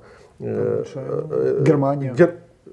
А, ну есть. Не, она в ЕСе, она, она как бы в ЕСе. Ну, так короче, мы G7 говорим. Да, G7 да, G7, в Германии же. Да, да. Ну, Япония, с, Япония с Канадой, это еще тебе добавится там процентов 7 да, с процентов 7. Да, да, да. Япония вот. 4,5 триллиона да. долларов экономика. Поэтому не, ну БРИКС, 4. Э, они, Британия БРИКС не, БРИКС не играет как бы как одно целое, тоже у них противоречия есть там свои внутренние, там и попытки выстроить э, э, там какую-то игру у них провалились. Но в любом случае то, что ты говоришь, это этот, это говорит о том, что система, э, ну, она ускоряется, противоречие внутри увеличивается, идет вот дробление. Э, Децентрализация. Не, не, регионализация, то есть как бы вот идет регионализация на блоки экономические, вот, которые яростно будут защищать свои э, позиции, в том числе через цифру, потому что цифра это форма как бы будет защиты как бы своих этих Э, территории, на которых э, они оперируют. Ну, это ключевой вопрос на самом деле. А станет ли цифра э, чем-то защитным относительно традиционных фиатных денег? Смотри, я смотри, я просто думаю, что вот я в 2008 году, когда мыслил, я тогда там тогда говорили про Амера, там что вот ходили слухи, помните, то, что ага. Амера ведут там и так далее. Так это же может быть форма утилизации вообще вот этого избыточного капитала, когда ты переходишь вот, помнишь, как Советский Союз реформу Павлова делали, как хоп, и вот эти все необеспеченные деньги, которые лежали, э, лежали на сберкнижках советского населения, а их хоп, э, сказали, все, ребята, меняйте там соотношение 1 к 10, там, не знаю, сколько там это было, там, да, по, по курсу что-то меняли, один к одному, если у тебя не больше какой-то суммы, а потом этот, а потом... Да, потом все, месяц, месяц на обмен. Да. Можно я э, мнение в отношении вот именно CBDC, это э, значит, цифровых валют центральных банков, действительно идет э, дискуссия, и строятся модели, и обсуждаются, и конференции проводятся, и этот Bank of International Settlements целый ряд докладов в этом пишет. Это теоретическая концепция, да?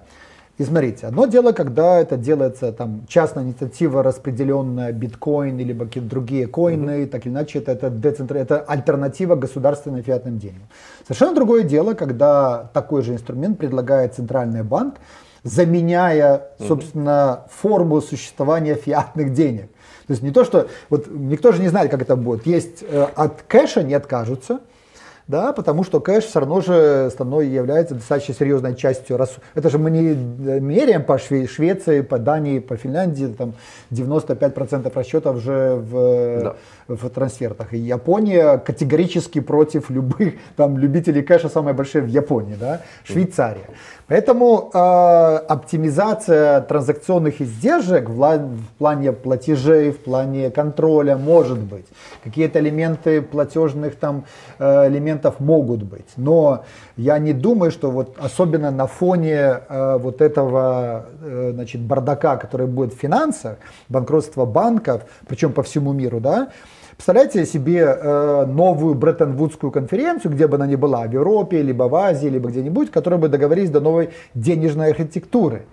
Тогда, 1944 год, они сделали, потому что это было уже понятно, война угу. Вторая мировая будет заканчиваться, нам нужна новая система, собрались, доллар к золоту привязали, всех остальных к доллару, обязались какие-то правила, и она каким-то образом работала. Сегодня мы еще спускаемся с горы. Да, то есть у нас еще вот будет вот это и банкротство, и очищение, и катарсис системы. И что в конце концов преобразуется? Да, американцы большие, да, но знаете, что доля американцев в мировом экспорте меньше 10%. Скажут, например, китайцы вместе с немцами, а что вы, разве вы такие большие крутые? Давайте нам инструмент. Э, да, могут представить там э, какую-то, вот э, китайцы, арабы, евро. Они же, сколько евро, 20 с чем-то лет же пытаются занять какую-то долю более значимую, чем 20% на рынке. Угу. И не получается.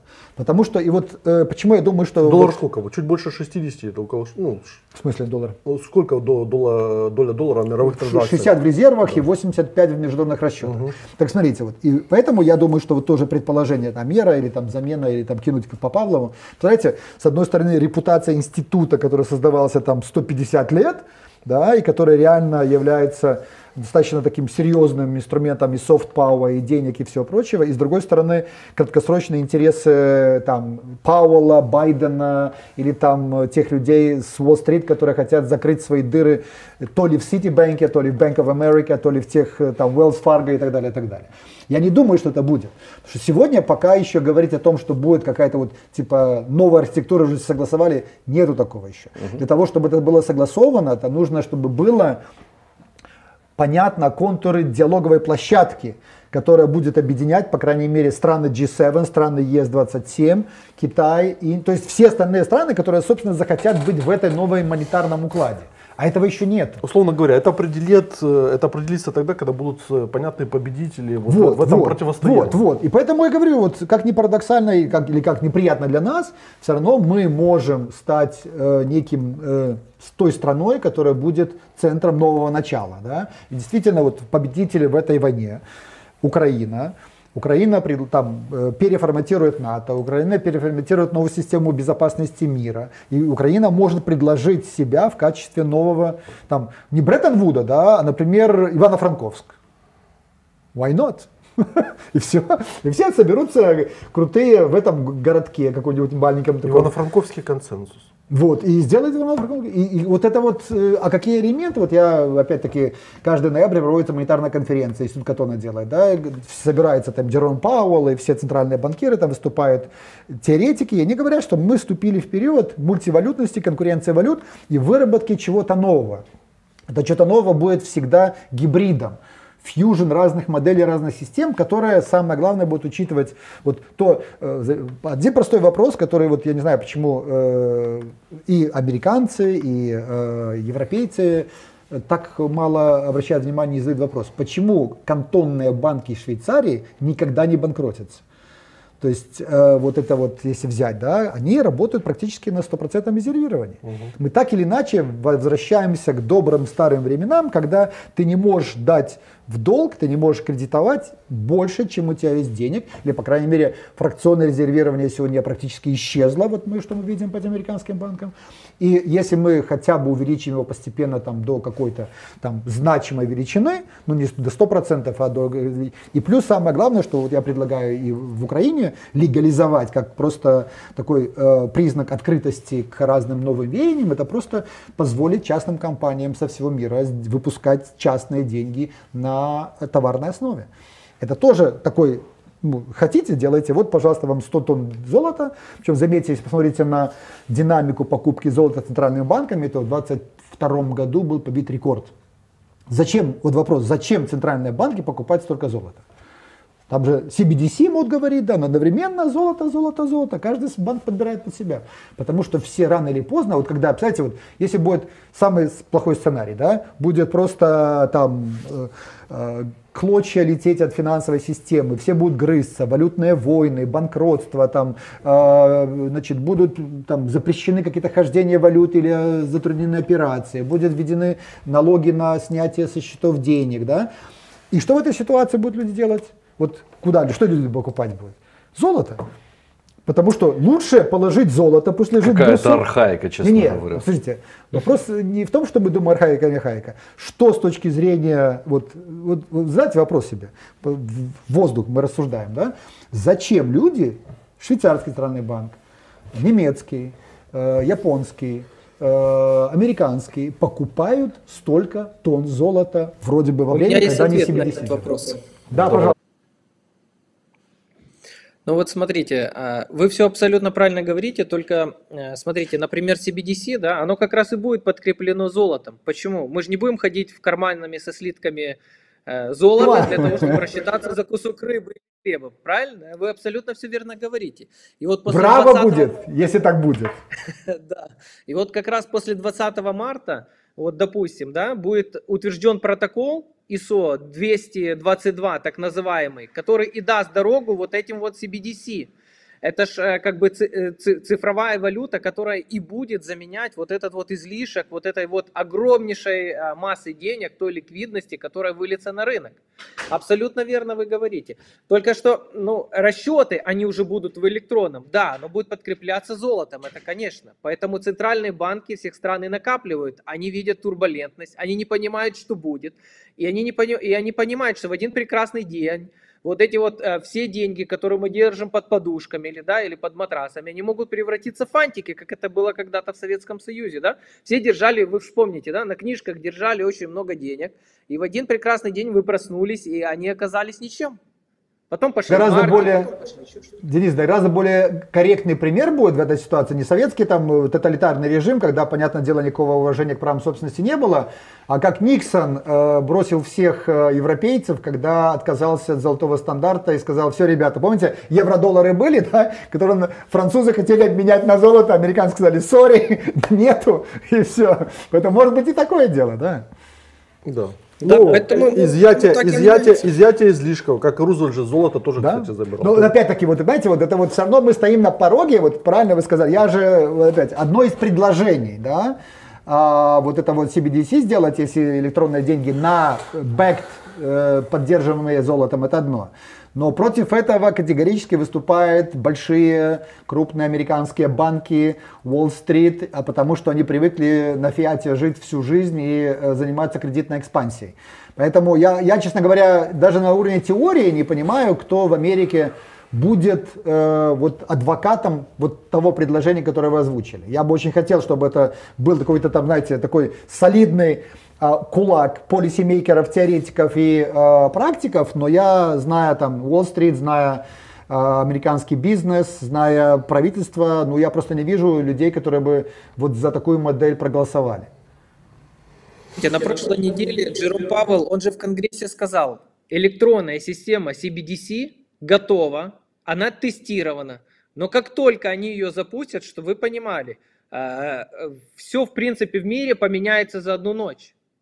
Это же совершенно другая система. И вот мы говорим, вот, допустим, о SWIFT, да? Вот вы живете, допустим, в Голландии, я живу в Украине. Для того, чтобы мне вам отправить деньги через украинский банк, я же их отправляю через банк-корреспондент, да? Евро там через Deutsche Bank, э, доллар там через американский банк-корреспондент. Все эти платежи идут 5 дней, мы ксерим кучу документации, заверяем кучами печатями, находим э, бенефициаров, выявляем собственников, потом опять это все согласовываем с банком, потом проходим финмониторинги, потом проходим проверку в, в, в одном банке, во втором банке, и в третьем через 5 дней вы по свифтовке получаете в Голландии деньги, да, условно.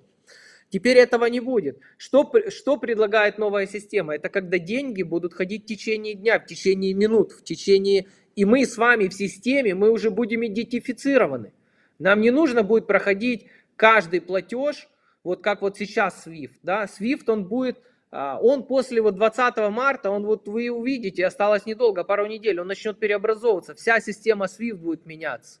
То есть это не говорится, что полностью другая финансовая система. Нет, та система, которая есть сейчас, она немножко, а, как это вам сказать, она переобразуется. Это уже будет, как вы говорите, гибрид какой-то другой финансовой системы. И она поменяется, она ускорится, будет очень сильное ускорение. Многие просто к этому еще не готовы. Куда кэш вкладывать? Сейчас люди сидят уже на низком старте, там уже спрашивают, 20 килобаксов есть, куда, куда, куда вкладывать? Смотрите, лично я и все равно продолжаю инвестировать в Украине, в недвижимость. Да, война, но по чуть-чуть я там что-нибудь подкупаю. Потом биткоин, а, потом бизнес. Собственный бизнес нужно развивать. Самое лучшее, куда вкладываться, это еще бизнес. И четвертый, это самое главное, это в образование. Никогда не поздно учиться чему-то новому. Все, вот четыре биткоин, направления. Биткоин, все, биткоин. Услышали? Я услышал только биткоин. Николай из всех из опций вырвал биткоин. Нет, Николай, мы вкладываемся в наше, в наше вот это вот все, чтобы дело, мы в это. А, нет, да, соцсети Альфа будет еще, в, нее можно. В соцсети Альфа и э, наши медоеды, как бы там будут, будем все зарабатывать, трубить бабло. И, менять мир. Да, донатить на ЗСУ и, менять мир, и, добивать как бы русских. И вот на самом деле, вот когда мы, реально исторический момент, да, вот мы имеем старую гривну, да, которая никчемная, да, которая там и инфляционная, и никакая. Ну, по факту, да. Там 13 э, место в мире по уровню инфляции там за последние 15 лет. Ну, это, ну, это позор, да. То есть это мы, высокое место. Мы, я имею в виду, что хорошо по, потрудились. Сам, мы молодцы. То есть почти 13% среднегодовая инфляция за 15 лет, друзья. Это, ну, это просто кошмар. Высшие показатели. Вот. И поэтому реально это просто снести, да, ввести лучшие практики и позволить действительно вот этой новой системе развиваться, в системе мультивалютности, конкуренции. Другого не дано. Чем заметьте, это же можно сразу же там и новые финансовые рынки выстраивать. Только вот если будет вот такой узкий подход к тому, что только гривна, только наши инструменты, а, а, это будет забор железный там э, вокруг э, всей нашей финансовой системы, ну тогда мы опять-таки столкнемся с тем, что имеем сегодня. Синдикат, большие банки, национальные банки, правительство, которые будут гонять деньги, зарабатывать на нас всех. Вот, а ну, сколько человек может работать в бизнесе и справляться с регуляторной налоговой нагрузкой? Все меньше, меньше, меньше, потому что эти проблемы, которые вы здесь говорите, которые я пишу и говорю постоянно, там, блокировка НДС, там, э, налог на прибыль, таможня, регуляторка, проверки и так далее, и так далее, это же никуда не девается. Что, то есть, если бы взяли бы такой вот одним системой, там, перезагрузка, reset, да, нажали, и нет, и мы начинаем, но такого, к сожалению, не бывает. А за, за всем этим стоят люди, да. Поэтому SWIFT может поправляться, да, может поправляться система международных расчетов. Но мы говорим про фундаментально. Бреттон Вуд это же не про систему расчетов. Бреттон Вуд это был про радикально другой переход между золотым стандартом и вот разными этими переходными режимами, которые был тогда. И это реально вот помогло, там 20-30 лет работало достаточно хорошо. А потом пошел вот перекос, потому что захотелось бесплатных денег опять крупным игрокам. Э, и тут самые разные варианты могут быть. Я просто не думаю, что так будет вот так overnight поменяется все, и тут мы после 20 марта проснемся, и будет нам счастье или, или несчастье для кого-то. Да? То есть системы такие, вот, которые создавались там десятилетиями, они будут меняться постепенно, будут какие-то новые элементы, согласования, э, как режим э, там, трансмиссии этих знаний, этих институтов на развивающиеся страны, на страны там большой там, двадцатки, тоже G20, как оно будет реагировать на это, там, Китай опять опять. То есть, что будет? Вот, знаете, какая вот может быть ситуация, да? Арабские страны к этому тоже не готовы, потому что там режимов куча с, с кэшем, э, разными платежами. Они будут что-то свое создавать. Китай, Россия, э, Иран, ось зла новая, да? Угу. Плюс не будем забывать, что 35-40% мировой экономики это же серая теневая экономика с потоками. Сколько? 35-40%. Это 35-40 триллионов долларов. И вы думаете, что там какая якудза, триада или те ребята, которые отмывают Колумбийцы, деньги? ребята. Колумби... А, хорошо, а эти в CDC, пусты... они... пустыне, в пустыне, которые сидят в, в Аризоне, там, они что, а. думаете, там, э, не знают, что такое денежные потоки? Еще так. Поэтому тут вот это вот есть та э, система какая-то вот э, турбулентности, которая будет развиваться. Но э, когда вот началось э, режим этот экстраординарных негативных процентных ставок, Резкий возрос спрос на сейфы в Японии и Швейцарии. Покупали они сейфы для того, чтобы хранить золото и купюры большого номинала под 1000 евро. Так что вот к вопросу, знаете, это когда мы говорим, куда вкладывать, если у тебя есть там лишний миллион, два, три, да, ну да, ты там либо бизнес, либо вот медийный проект, который можно там монетизировать, а для обыкновенных людей, там, которых львиная доля имеет там, сбережений, дай бог, там 20-30 тысяч долларов, ну вот как им сохранить? Ну, придется, получается, в живом кэше их хранить. В живом кэше хранить, да. да. Это вот и даже инфляция доллара, понимаете, инфляция доллара одно, но э, помните, когда были, какие цены в долларах были у нас там после развала Советского Союза, когда 50-100 долларов это было ху, все, что можно было купить. То же самое здесь ну, будет. Моя мать 8 долларов зарабатывала. Да, да, да. Ну я говорю, что ну, тогда цены были совершенно другие. Потом, человек там, помню, там 92 год я был там, начинал в бизнесе, так, елки-палки, так можно было за 100 долларов жить и гулять. Это, это как, блядь, один подписчик писал, говорит, слушайте, вы тут вот это рассказываете, да я 90-е уже был миллионером. Я говорю, слушай, я в 90-е тоже был миллионером. У меня, у меня, у меня, у меня этот стипендия была по 1 миллион 600 тысяч купонов. так что... А вот в навыке абсолютно точно. Вот soft skills, знания, умения, брендирование, репутация, сети, вот этот капитал, который реально могут, может помочь человеку после окончания этой турбулентности выжить. Это абсолютно правильное вложение, которое никогда... То есть даже если у тебя ничего нет, вот это осталось, это твой золотой фонд, на основании которого ты можешь двигаться дальше. Да. Денис согласен? Да, я согласен. Но я еще хотел добавить, что вот наш, например, Национальный банк не готов не готов к турбулентности, которая наступит. И об этом ну, нужно говорить тоже, потому что наш Национальный банк сегодня ну, занял такую позицию в ожидании прода- продажи облигаций, знаете, с Минфином.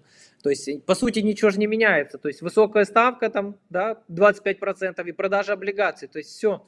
Никакого развития нет, никак, никакое уменьшение регуляторки, никакое отмен, отменение каких-то там приказов и так далее. То есть у нас сегодня наоборот запретили, допустим, людям, которые имеют возможность через биржи да, выводить доллар себе на карточку, менять его цифровой, да, по сути, ну доллар, скажем так, который USDT, на карточку в гривну и сюда же его в гривну заводить в страну, они уже лишены этой возможности. То есть отключили абсолютно все банки от криптобирж.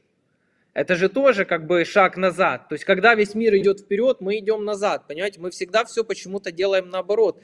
И это на самом деле катастрофа, потому что э, то, что ждет банковскую систему, мировую глобальную финансовую систему э, в будущем, мы абсолютно к этому тоже не готовы, как и не были готовы, кстати, в восьмом году. Для, для таких э, э, странных людей, как я, повторить, э, к чему нам надо быть готовым. Потому что вот большой эфир, а вот теперь схлопываем. Резюме какое-то. Да, полайкайте сначала эфир, вот э, прежде чем Денис начнет говорить, потому что вот мы еще не догнали. По лайку, по количеству лайков, количество смотрящих, хотя их выросло достаточно много, еще больше смотрят, то их вырастет еще больше, если, потому что если вы будете лайкать, то мы с Колей, ну, не окажемся на улице, как бы, в конце концов, и вот в условиях вот этого глобального банкопада, как бы. И каждый ваш доллар очень важен. Не забывайте, вот если вы сейчас приняли решение стать спонсором Альфы, это всего лишь там меньше, чуть меньше доллара в месяц, а, то это как бы в конечном итоге очень важно, поскольку у вас количество растет, а это создает нам возможности для э, жизнедеятельности. Да, ваши деньги все равно инфляция съест, вот как они, наши гости говорят, а, а, а, мы, а с нами не съест. Да, а с нами не съест. Мы еще, может быть, вас Монетизация хорошего информационного ресурса, вот что состоится. Да, да, да. Поэтому спасибо. Да. Э, Денис, ну, чего нам ждать? Ну, во-первых, нам нужно как готовиться? Нам нужно стараться максимально, те, кто имеет возможность открывать бизнес, кредитоваться в украинских банках, да, может под какие-то э, грантовые программы, открывать фермы. Э, то, что сейчас, вот, э, допустим, очень я, будет востребовано. Я, я прошу прощения. Юра сбил, вот ты э, отвечаешь на какой-то чужой вопрос, не на мой. Э, я повторю еще раз. К чему да, должен готовиться НБУ? Что нас ждет, что ждет финансовую систему, очень кратко, то есть вот, вот к этому, да, к чему мы готовим всех. Все, услышал. Значит, Национальному банку Украины в первую очередь нужно, нужно подготовить свои резервы. То есть, что это означает? Что может быть наступить турбулентность, и наши партнеры не так будут активно нам давать денег, как это заявляли. И к этому нужно будет готовым. Нужно уменьшать расходы, нужно уменьшать расходы на э, госаппарат максимально резать ненужные расходы, такие как, допустим, там обустройство э, фасадов, покупка деревьев, ур, новых машин. Это местных бюджетов касается, это касается Кабмина. То есть Национальному банку нужно э, сделать такое собрание и, сказать, что смотрите, вот в мире начал, началась турбулентность, мир начал меняться. И у нас могут быть сложности, поэтому нужно экономить деньги. Не тратить их на ненужные вещи, а тратить, допустим, на оборонку. Нужно тратить на э, кредитование бизнеса. Это то, что может сейчас, сегодня дать стимул какой-то, да? И очень внимательно контролировать резервы. Нужно наполнять сегодня бюджет. Наполнять бюджет не за счет репрессий, а за счет создания рабочих мест и уменьшения расходной части, именно государственной расходной части, которая не нужна. На кино, на молодь спорт – на еще какую-то ерунду. Это в первую очередь на что нужно смотреть. Это первый момент. Второй момент. Нужно с партнерами очень четко договориться на целый год, э, что мы можем иметь, допустим, какую финансовую поддержку. И это могут быть не только там ресурсы, я имею в виду финансовые ресурсы, это мог, мож, и оборонка. Это может есть, есть, есть, есть сигнал, да, продолжай. Да, да. Это, это, это могут быть какие-то, допустим, это может быть какое-то оборудование, да, это может быть э, в рамках какого-то экспортного агентства, кредитного агентства. То есть какие-то кредитные механизмы, которые помогут нашему бизнесу сегодня и людям как-то подготовиться к кризису, который может очень сильно ударить. Ну и банковскую систему, она в принципе, украинская банковская система сегодня нормально себя чувствует, потому что за счет высокой ставки, хотя для банков это хорошо, для бизнеса это плохо. Э, я не вижу там сильно большой опасности именно для банковской системы. С государством, конечно.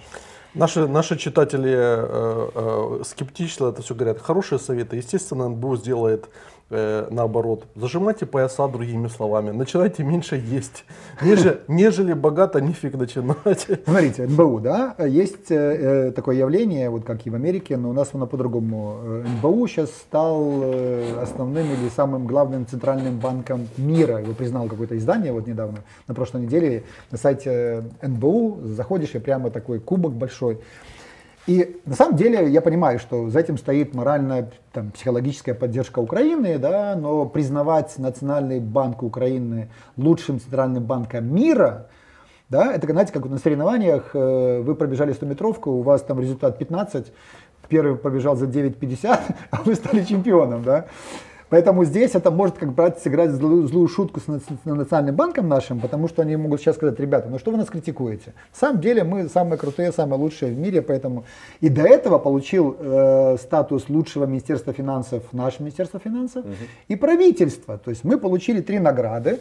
Я понимаю, что это как бы больше такая психологическая, моральная поддержка за действия во время войны, но надо понимать, что те показатели, которые показывает Национальный банк, инфляция, развитость финансового рынка, э, стоимость кредитов, наличие финансовых инструментов, у нас на критически низком уровне.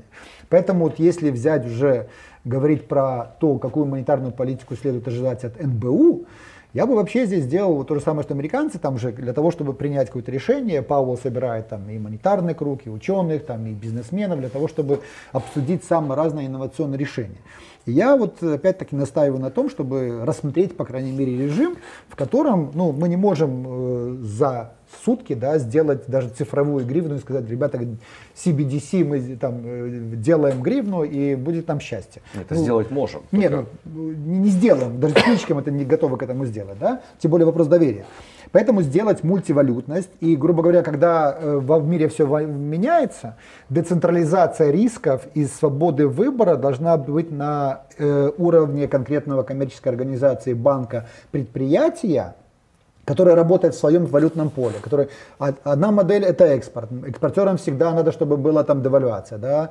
Э, импортерам другое совершенно. Внутренним ребятам, которые работают на рынке, нужно, чтобы кредит был там не 25%, они там э, готовы разорвать Нацбанк на части за такую э, там кредитную эту э, процентную политику. Да? Они хотят там 5-7. Поэтому тут совершенно противоречивое. И для того, чтобы не было этих противоречий в рамках этой жесткой там, системы единого там, значит, монопольного монопольного платежного средства, я предлагаю те же 5 валют легализовать вместе с, э, значит, с э, гривной. И пусть они ходят. Э, кто-то вот в это... Условно, как в Турции.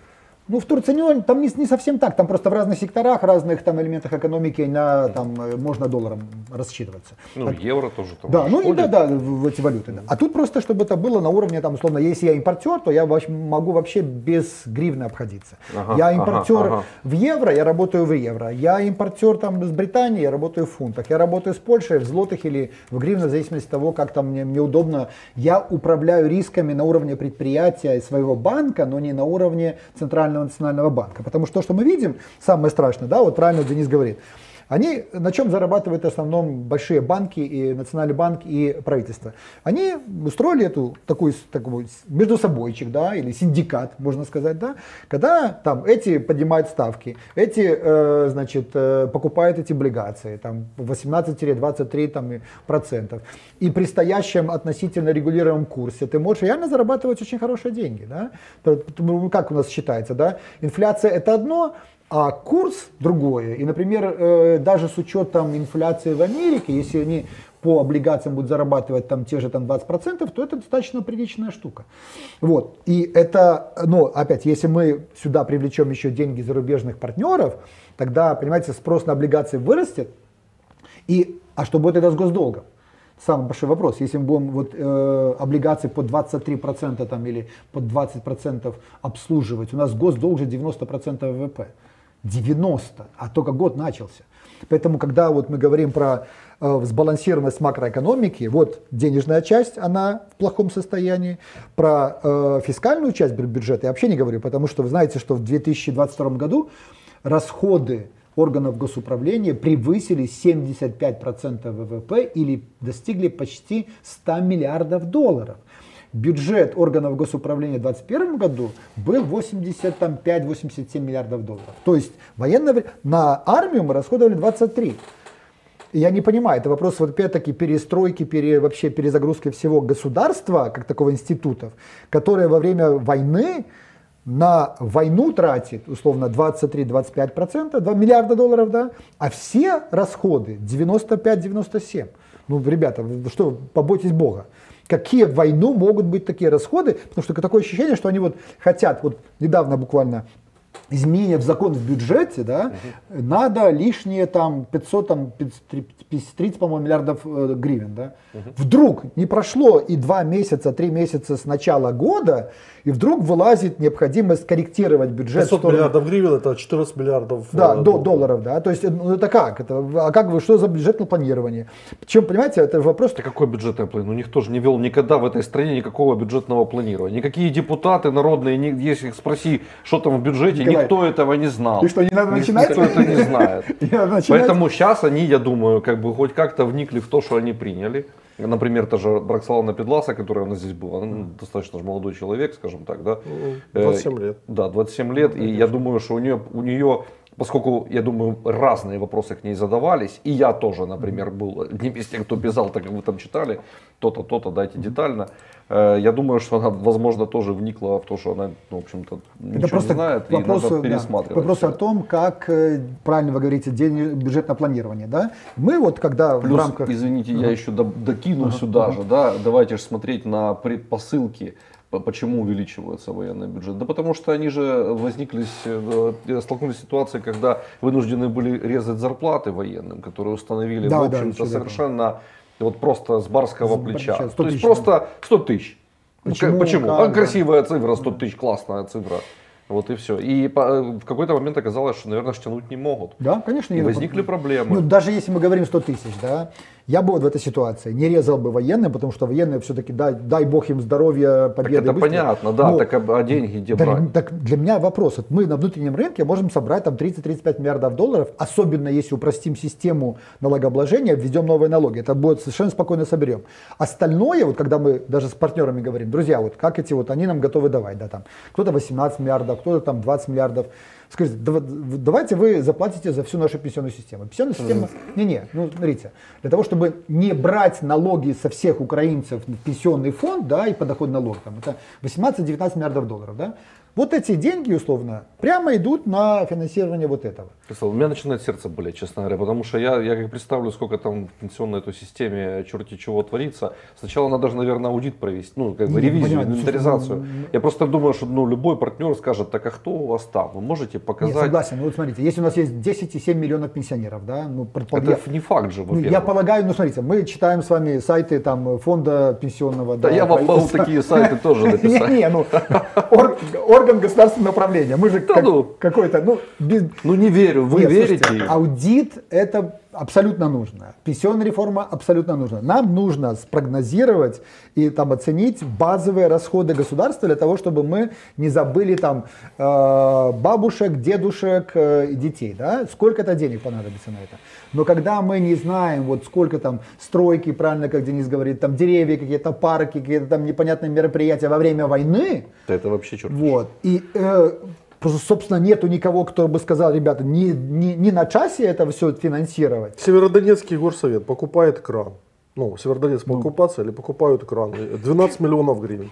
Это Юля Глушкова выложила в Фейсбуке. Вот, да, да. В, Сватовском, в Сватовском районе э, какая-то ОТГ покупает Рено Дастер за 700 тысяч гривен. То есть там бои идут э, где-то рядом. Как бы, да? Ну это вот, это вот типичный покупать... пример того, как... Ну э, и это вот, вот просто так, на скидку по, по, по всей Украине это десятки миллиардов гривен, которые вот просто разворовываются э, ну, ну в наглую. Смотри, вообще. но при этом местным бюджетом запрещают экранировать деревья, потому что это не те расходы, на которые можно тратить деньги во время Друзья, войны. Когда мы видим... У нас перекос какой-то абсолютно ну, Дефицит конченый, бюджета 25% ВВП это трагедия. Я понимаю, первый год, да, то есть ну, 22 ну, год это был форс-мажор, ничего спланировать нельзя было, хотя опять-таки надо было бюджет военное время принять. Но во второй год повторять этот результат, такое ощущение, что вот, знаете, на что расчет? Что когда война закончится, мы победим, да, соберемся мы за круглым столом с нашими кредиторами. Парижский клуб, лондонский клуб, МВФ, американцы, европейцы скажут, друзья, пожалуйста, спешите нам долги, давайте начнем с чистого листа.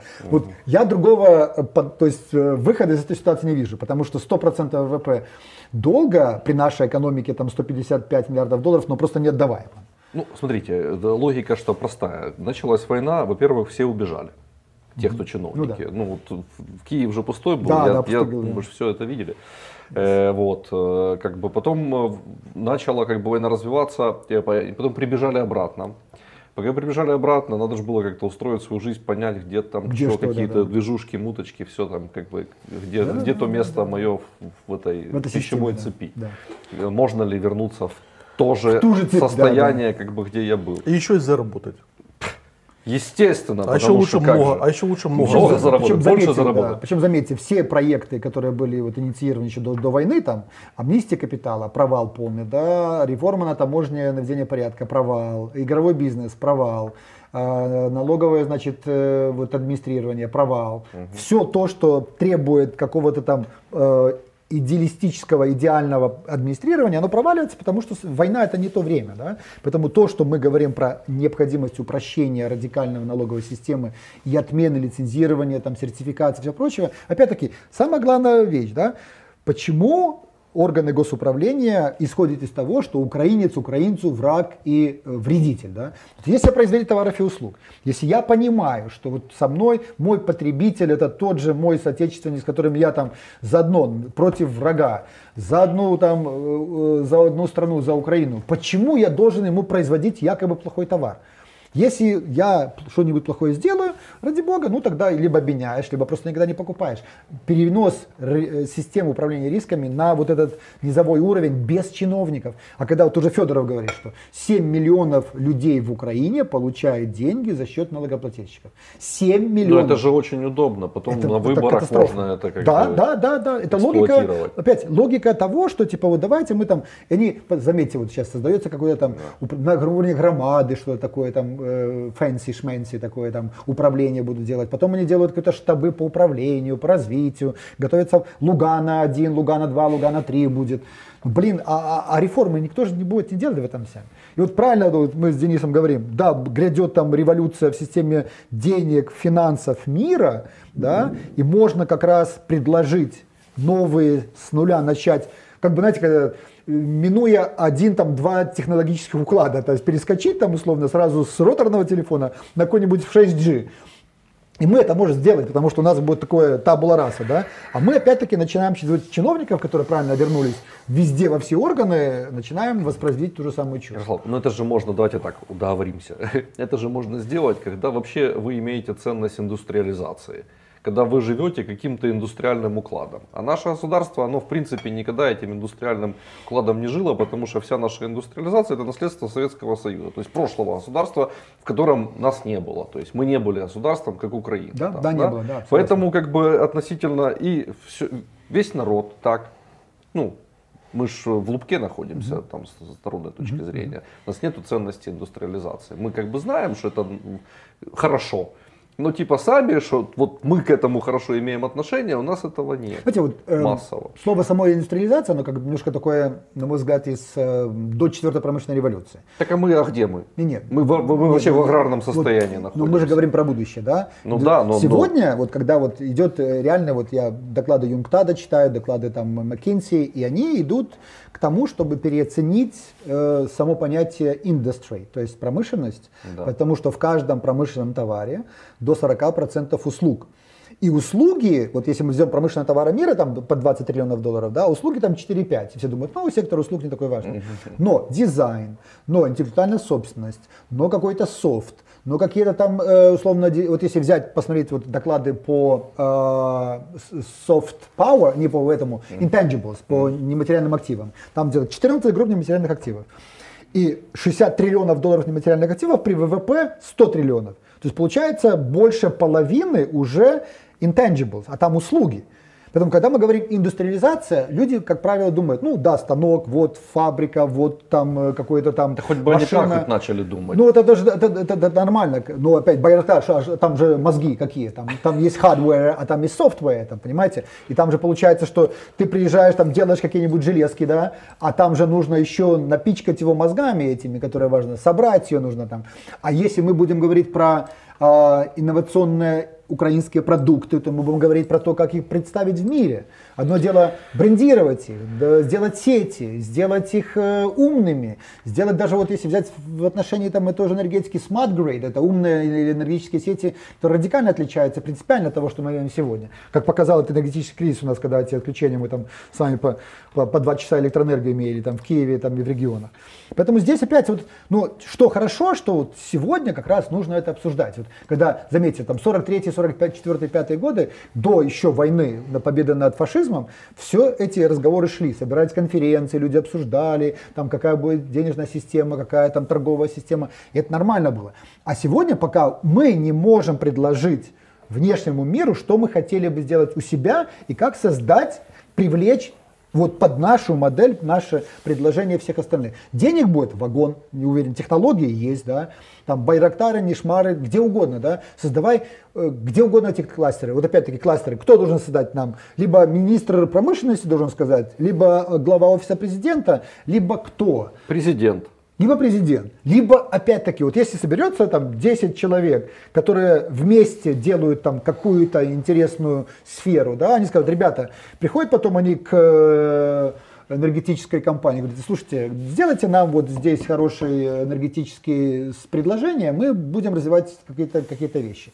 Окей, они идут, например, к органу, который там занимается землей этим всем, и он там на автомате просто выделяет им землю и дает, и вот это развивается кластеры, которые развиваются естественно, там, итальянские. Это же не то, что было создано там директивой какого-нибудь президента. Ну, там же традиции есть. У нас же традиции нету. Проблема в том, что мы новое государство. Слушай, ну, ну послушай, традиции... Hyundai, э, у меня вот вторая машина Hyundai, как да. бы там, да, ну, мы помним Hyundai Tucson э, первый, который появился, и Hyundai Tucson вот второй там или третий, который у меня, ну это другая вообще машина. Да, какую машину украинскую вот. мы помним? А какая, а какая, Первую, а, вторую, а, а, а, а, какой Hyundai э, был в 62 году, так когда я понимаю, я говорю, никаких традиций не было, ничего. А они сейчас создали машины, которые лучше, чем японки. Я, я согласен с этим. Они, электро, они сейчас электрокары создали не хуже Теслы. Вот 50-100 э, украинцев, э, бизнесменов имеют понимание рынка на уровне мировых стандартов.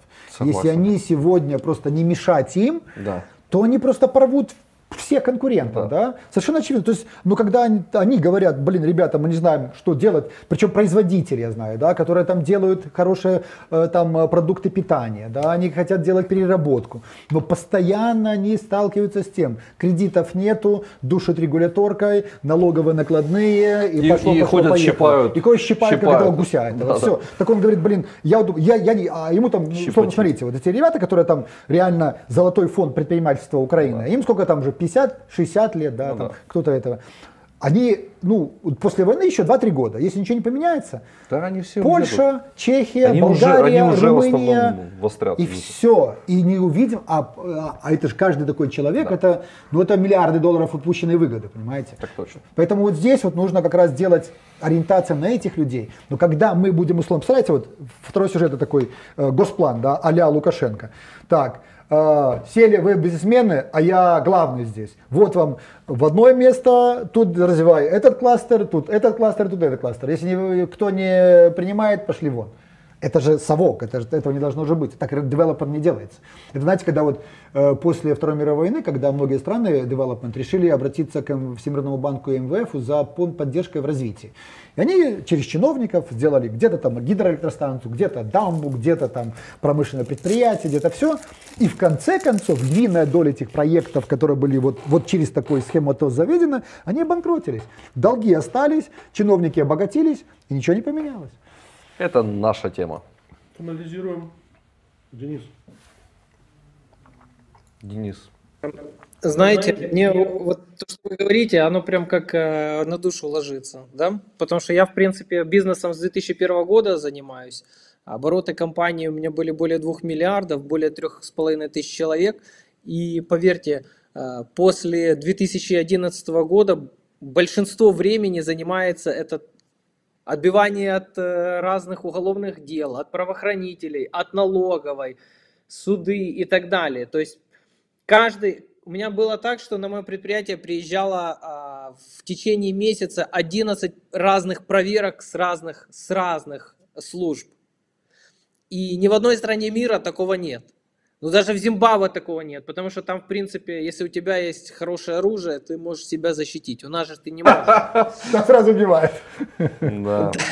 Абсолютно верно. То есть, и э, мы живем в каком-то, я все время говорю, зазеркалье. Нам это нужно срочно менять, срочно. У нас огромнейший сейчас шанс перестроить абсолютно всю страну.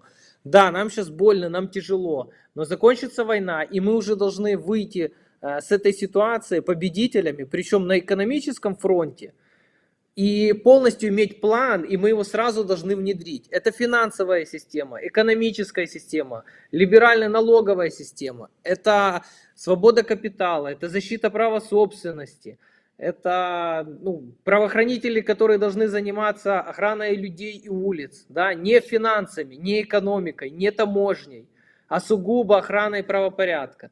И вот тогда мы, в принципе, вторая Швейцария, второй Сингапур. Это все абсолютно просто сделать. Нужно просто, вы правильно говорите, 100 наших бизнесменов, да, вот с наших бизнес-ассоциаций собрать, дать им возможность, дать пилотный проект, да, скажем так, государство Украины. Они сами будут делать, какой пилотный проект? И мы построим с Украиной такое государство, которого нет в мире, самое сильное, самое экономическое, но нам надо дать эту возможность. Только без этих глупостей. Поэтому вот так. Хорошо, спасибо нашим гостям, потому что у нас уже Евгений Дыхле ждет, наш следующий гость. Э, э, вот. Э, Только скажу анонс в заключение там Дениса, да. да, что вот в этом месяце уже выходит моя книга «Новый Запад. Украинская мрия». Вот она как раз и описывает теоретические, практические так презентуйте элементы. Нет, конечно, презентую. Вот она сейчас уже в типографии на русском и на украинской будет. Она сейчас польский, английский делаем, ищем возможности. Ну вот я хочу, чтобы вот как раз через вот такого рода вклад в дискуссию, да, и мы не упустили шанс, потому что вот пятый год, э, пятнадцатый год, вот таких системных предложений э, не было или они были не представлены, а когда она представлена, написана, но просто как-то, думаю, обогащает дискуссию, делает ее более направленной. Приходите, когда в том числе когда выйдет, чтобы вы показали ее, и мы сказали, где ее можно купить, Хорошо. и все ее начали покупать. Да, спасибо Делису, э, спасибо, э, спасибо Ярославу. Мы продолжаем сейчас, э, э Евгений Дыхле зайдет, спасибо. и мы как раз вот э, он э, с позиции топ-менеджера, который внутри вот э, критической инфраструктуры там находился долгие годы, вот, транспортной прежде всего, я имею в виду, вот, управлял МАУ, там, управлял железной дорогой. Э, он, он как раз расскажет вот э, о всяких абсурдных вещах, которые предстоит преодолеть. Евгений, заходите. Добро, да. все. Все, друзья, спасибо. Да. Все хорошо. Спасибо. Да, мы не будем перерываться на другой эфир. Да, разбивать. Привет. Приветствую. Да, мы не будем, мы не будем. Э, это, не сегодня. Не сегодня, да. Вот мне не хочется просто забивать себе голову.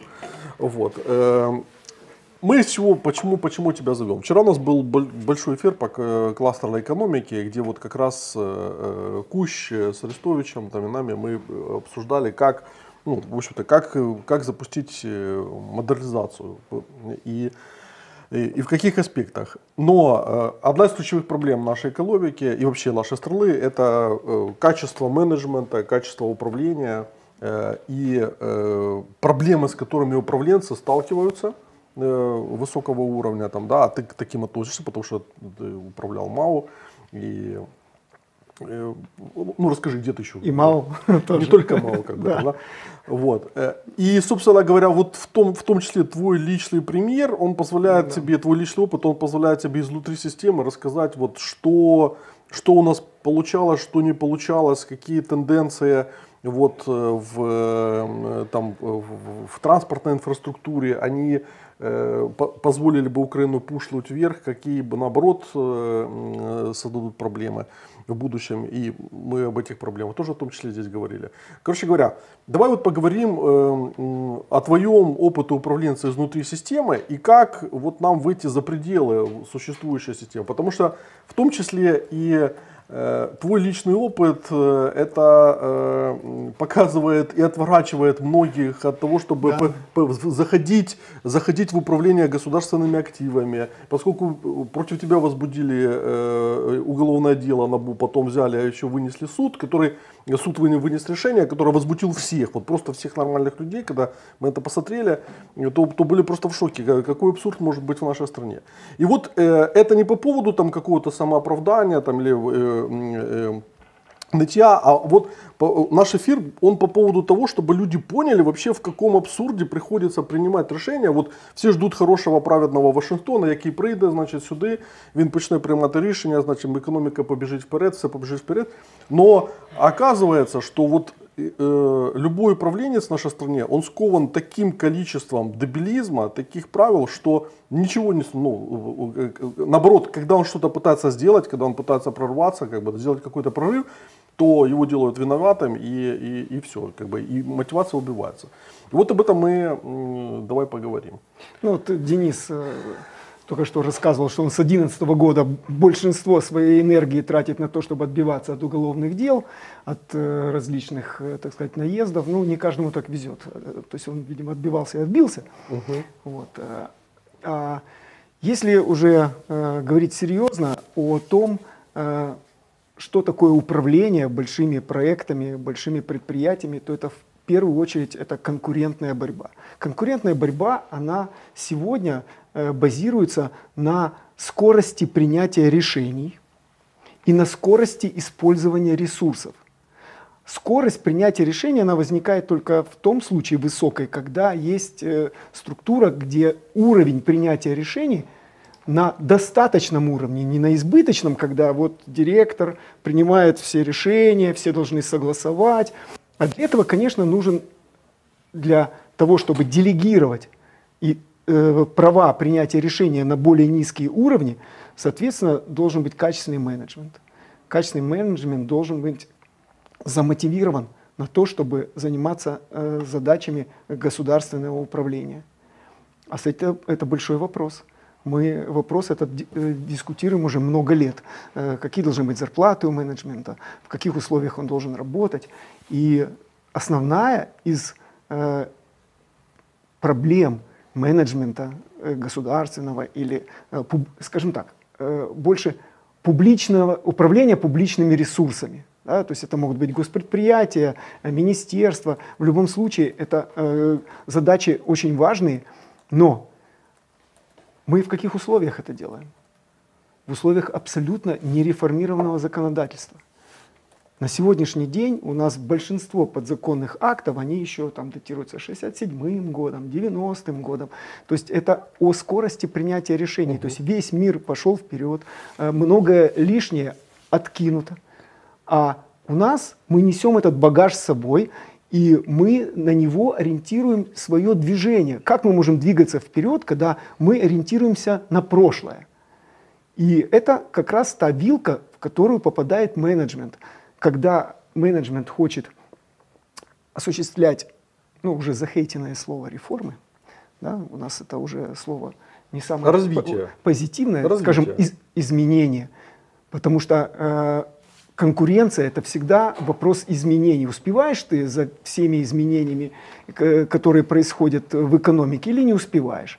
Так вот, когда ты работаешь над тем, чтобы менять систему, ты упираешься в любом случае в отсутствие достаточного количества инструментов в области публичных ресурсов в сравнении с, с даже бизнес-предприятиями э, или бизнес-средой, в которой... А в чем разница? Между публичной средой, то, что акционер является государство, угу. так что государство не должно быть конкурентно с бизнесом или не, не, не должно быть конкурентно в эффективности. Так это отсюда же появляется тезис о том, что государство не может э, э, хорошо управлять своими ресурсами. Это же корни же здесь лежат. Как оно может хорошо управлять ресурсами, если нормативная база создала таким образом, чтобы оно не могло управлять в принципе хорошо этими ресурсами? Абсолютно верно. И никто не занимается реальной изменениями в структуре управления публичными э, финансами. Где корпоратизация предприятий? Где приватизация. То есть это те вопросы, которые должны развязать менеджменту руки, а не так, что ты работаешь в государственном предприятии, у тебя совершенно другие инструменты, но ты, как, к примеру, предприятие инфраструктура, я работал на предприятии, я работал на нереформированной еще железной дороге, когда э, она не была акционерным обществом, и это совершенно другие условия, чем то, как сейчас работает Укрзалезница. Я работал в аэропорту Борисполь, когда это было не, не, не реформировано и по сегодняшний день не реформировано там добавился наблюдательный совет, но по сути ничего не поменялось, потому что это не акционерное общество, и оно живет совершенно по другим законам. К примеру, имуществом аэропорта Борисполя распоряжается фонд госимущества. А давайте посмотрим, э, фонд госимущества в какой еще стране распоряжается э, площадями аренды? Угу. Ни в какой. Не, на постсоветском пространстве уже этих функций нет ни, ни, ни в Белоруссии, ни во вражеской России, нигде. То есть занимаются приватизацией, акционированием и, э, и в принципе все. И получается, когда э, инфраструктурное предприятие в своей конкурентной борьбе, вот как аэропорт Борисполь, в борьбе с другими аэропортами для обеспечения сервисных своих функций должен качественно, качественно найти контрагента, который будет заниматься сервисом, он не имеет права. То есть это право уже изначально лежит за отдельно взятым фондом. Такого нет в мире. И это один из важнейших факторов. Э, поэтому ну, давайте, э, давайте сделаем небольшой как бы дискурс э, относительно обвинения, которое... Не, не, не, смотри, это, это один момент. Смотри, не, я читаю смотри, сейчас с, позицию. Я подожди, подожди, смотри, Коля, не так. Мы просто должны ввести в контекст. Мы, так вот в контекст, я же хочу... Подожди, мы должны ввести в контекст для того, чтобы показать, вот как развивалась система управления, вот в данном случае вот... Так, так я хочу про это искать. Смотри, какая штука. Я читаю конкретно позицию Миллера, да, то есть ваших защитников. Миллер ну ты к делу переходишь, зачем, если мы в контексте ввели людей? Потому что, потому что в контексте написано, что типа те договора, которые э, вы заключали, они их раньше заключали. Раньше заключались точно такие же договоры. Не, ну мы сейчас в детали даже входить. Смотрите, ну если мы сейчас будем обсуждать дело, то нам понадобится два часа. И я вам расскажу часа? все аспекты дела, почему там нет... Э, да я не хочу обсуждать все аспекты дела. Я хочу задать конкретный вопрос как бы и получить на него ответ. Это Можно? была практика да. в аэропорту Борисполь, да. начиная с 2011 да. года, когда да. готовился аэропорт Борисполь к Евро-12. Угу. Специально была выбрана форма договоров, которая позволяет сдавать в аренду помещения самим субъектам, то есть аэропортом Борисполь, да, угу. до до того самого момента, пока не будет проведен конкурс. То есть этот договор обязывает контрагента аэропорта Борисполь обязательно запустить процедуру в фонде, но, но так как эти процедуры по истории э, взаимоотношений и того, как фонд э, работает, mm-hmm. особенно в те времена, когда, э, извините, фонд э, ручное голосование, да. э, объявление в э, вестнике приватизации в газете, то есть, ну мы уже не помним, это же аспекты 15-16 года, да. Да, то, э, конечно же, это спасало аэропорт Борисполь как, вот когда я говорил про скорость принятия, это позволяло принимать быстрые решения, которые нужны были для развития предприятия.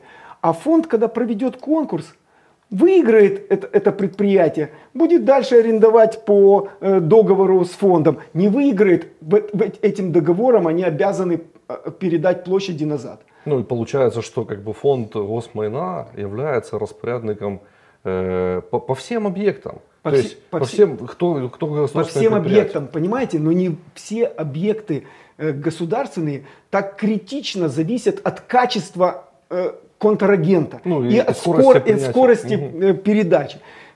Сервисное предприятие аэропорт Борисполь, которое в интересах своих пассажиров, в интересах авиакомпаний, которые должны туда прилетать, должно действовать быстро, потому что это сезон, начинается летняя навигация, нужно запустить да. авиакомпании. У нас начинается чартерная программа, куча голодных пассажиров в терминале да. ДЭС, которые съехались, а ресторана нет. Конечно, со под... всего мира. Со всего мира, и, а с регионов. Да. Все прилетали в Борисполь Конечно. для того, чтобы улететь дальше. И вот они сидят, э, а отмененные рейсы, вы Понима... Помните, э, Конечно. 16 э, год, сколько было чартерных рейсов отменилось, сколько людей? А мы должны, мы им скажем, э, уважаемые пассажиры, мы, Все вопросы нас, в фонд. Нас вам нечего покормить, потому что мы запустили процедуру в фонде госимущества, но она длится два года. Когда, когда, когда они уже проведут этот конкурс, тогда вы и получите свое питание. А авиакомпании претензию предлагают, предъявляют, а у нас, мы, мы обязаны кормить задержанных пассажиров. Где взять?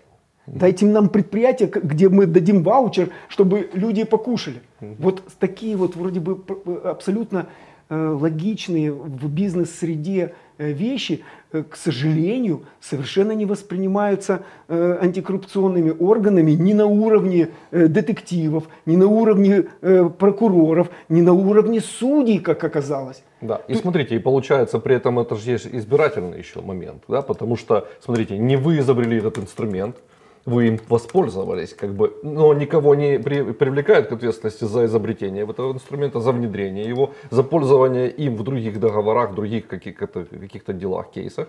И после вас тоже им пользовались. И тоже никого не привлекают. Шесть директоров подписывали аналогичные договора. Угу.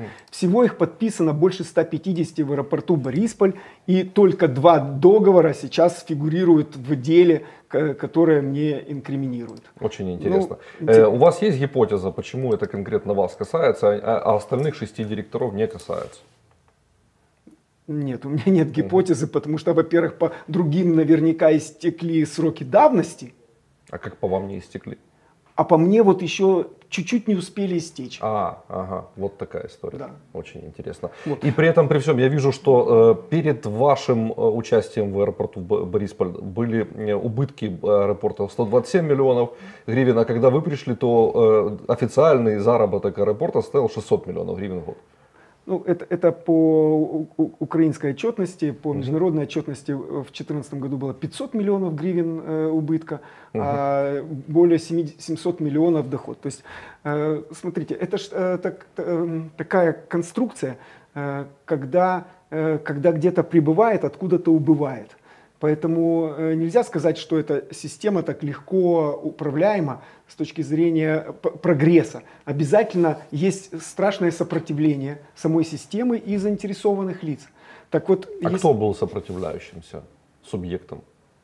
Ну, все, кто наживались на аэропорту Борисполь. А как они наживались вне договоров аренды? Это было просто в тупую размещение хозяйственной деятельности? На, на, на, на устных на, договоренностях? На, ну, смотрите, на, на, на разных э, закупках в аэропорту. К примеру, мы одни из первых, кто вел, еще не было прозора, мы, мы открывали э, уже все закупки в онлайн э, трансляции на Ютубе. Угу. То есть мы применяли все возможные формы для того, чтобы сэкономить затраты предприятия и усечь коррупцию. Вот поэтому вот я сейчас э, продолжаю борьбу уже с так сказать, доказываю свою некоррумпированность. Mm. Тем более, что в деле нет вообще предмета коррупции. Но самое интересное это то, как посчитан ущерб который мне инкриминируется в этом деле. Почему? Потому что у нас ущербная система оценки в стране. И это, кстати, э, серьезная проблема, Юрий, потому что, смотрите, э, э, придет победа, и мы захотим, чтобы все те, весь тот урон, который нанесен нам,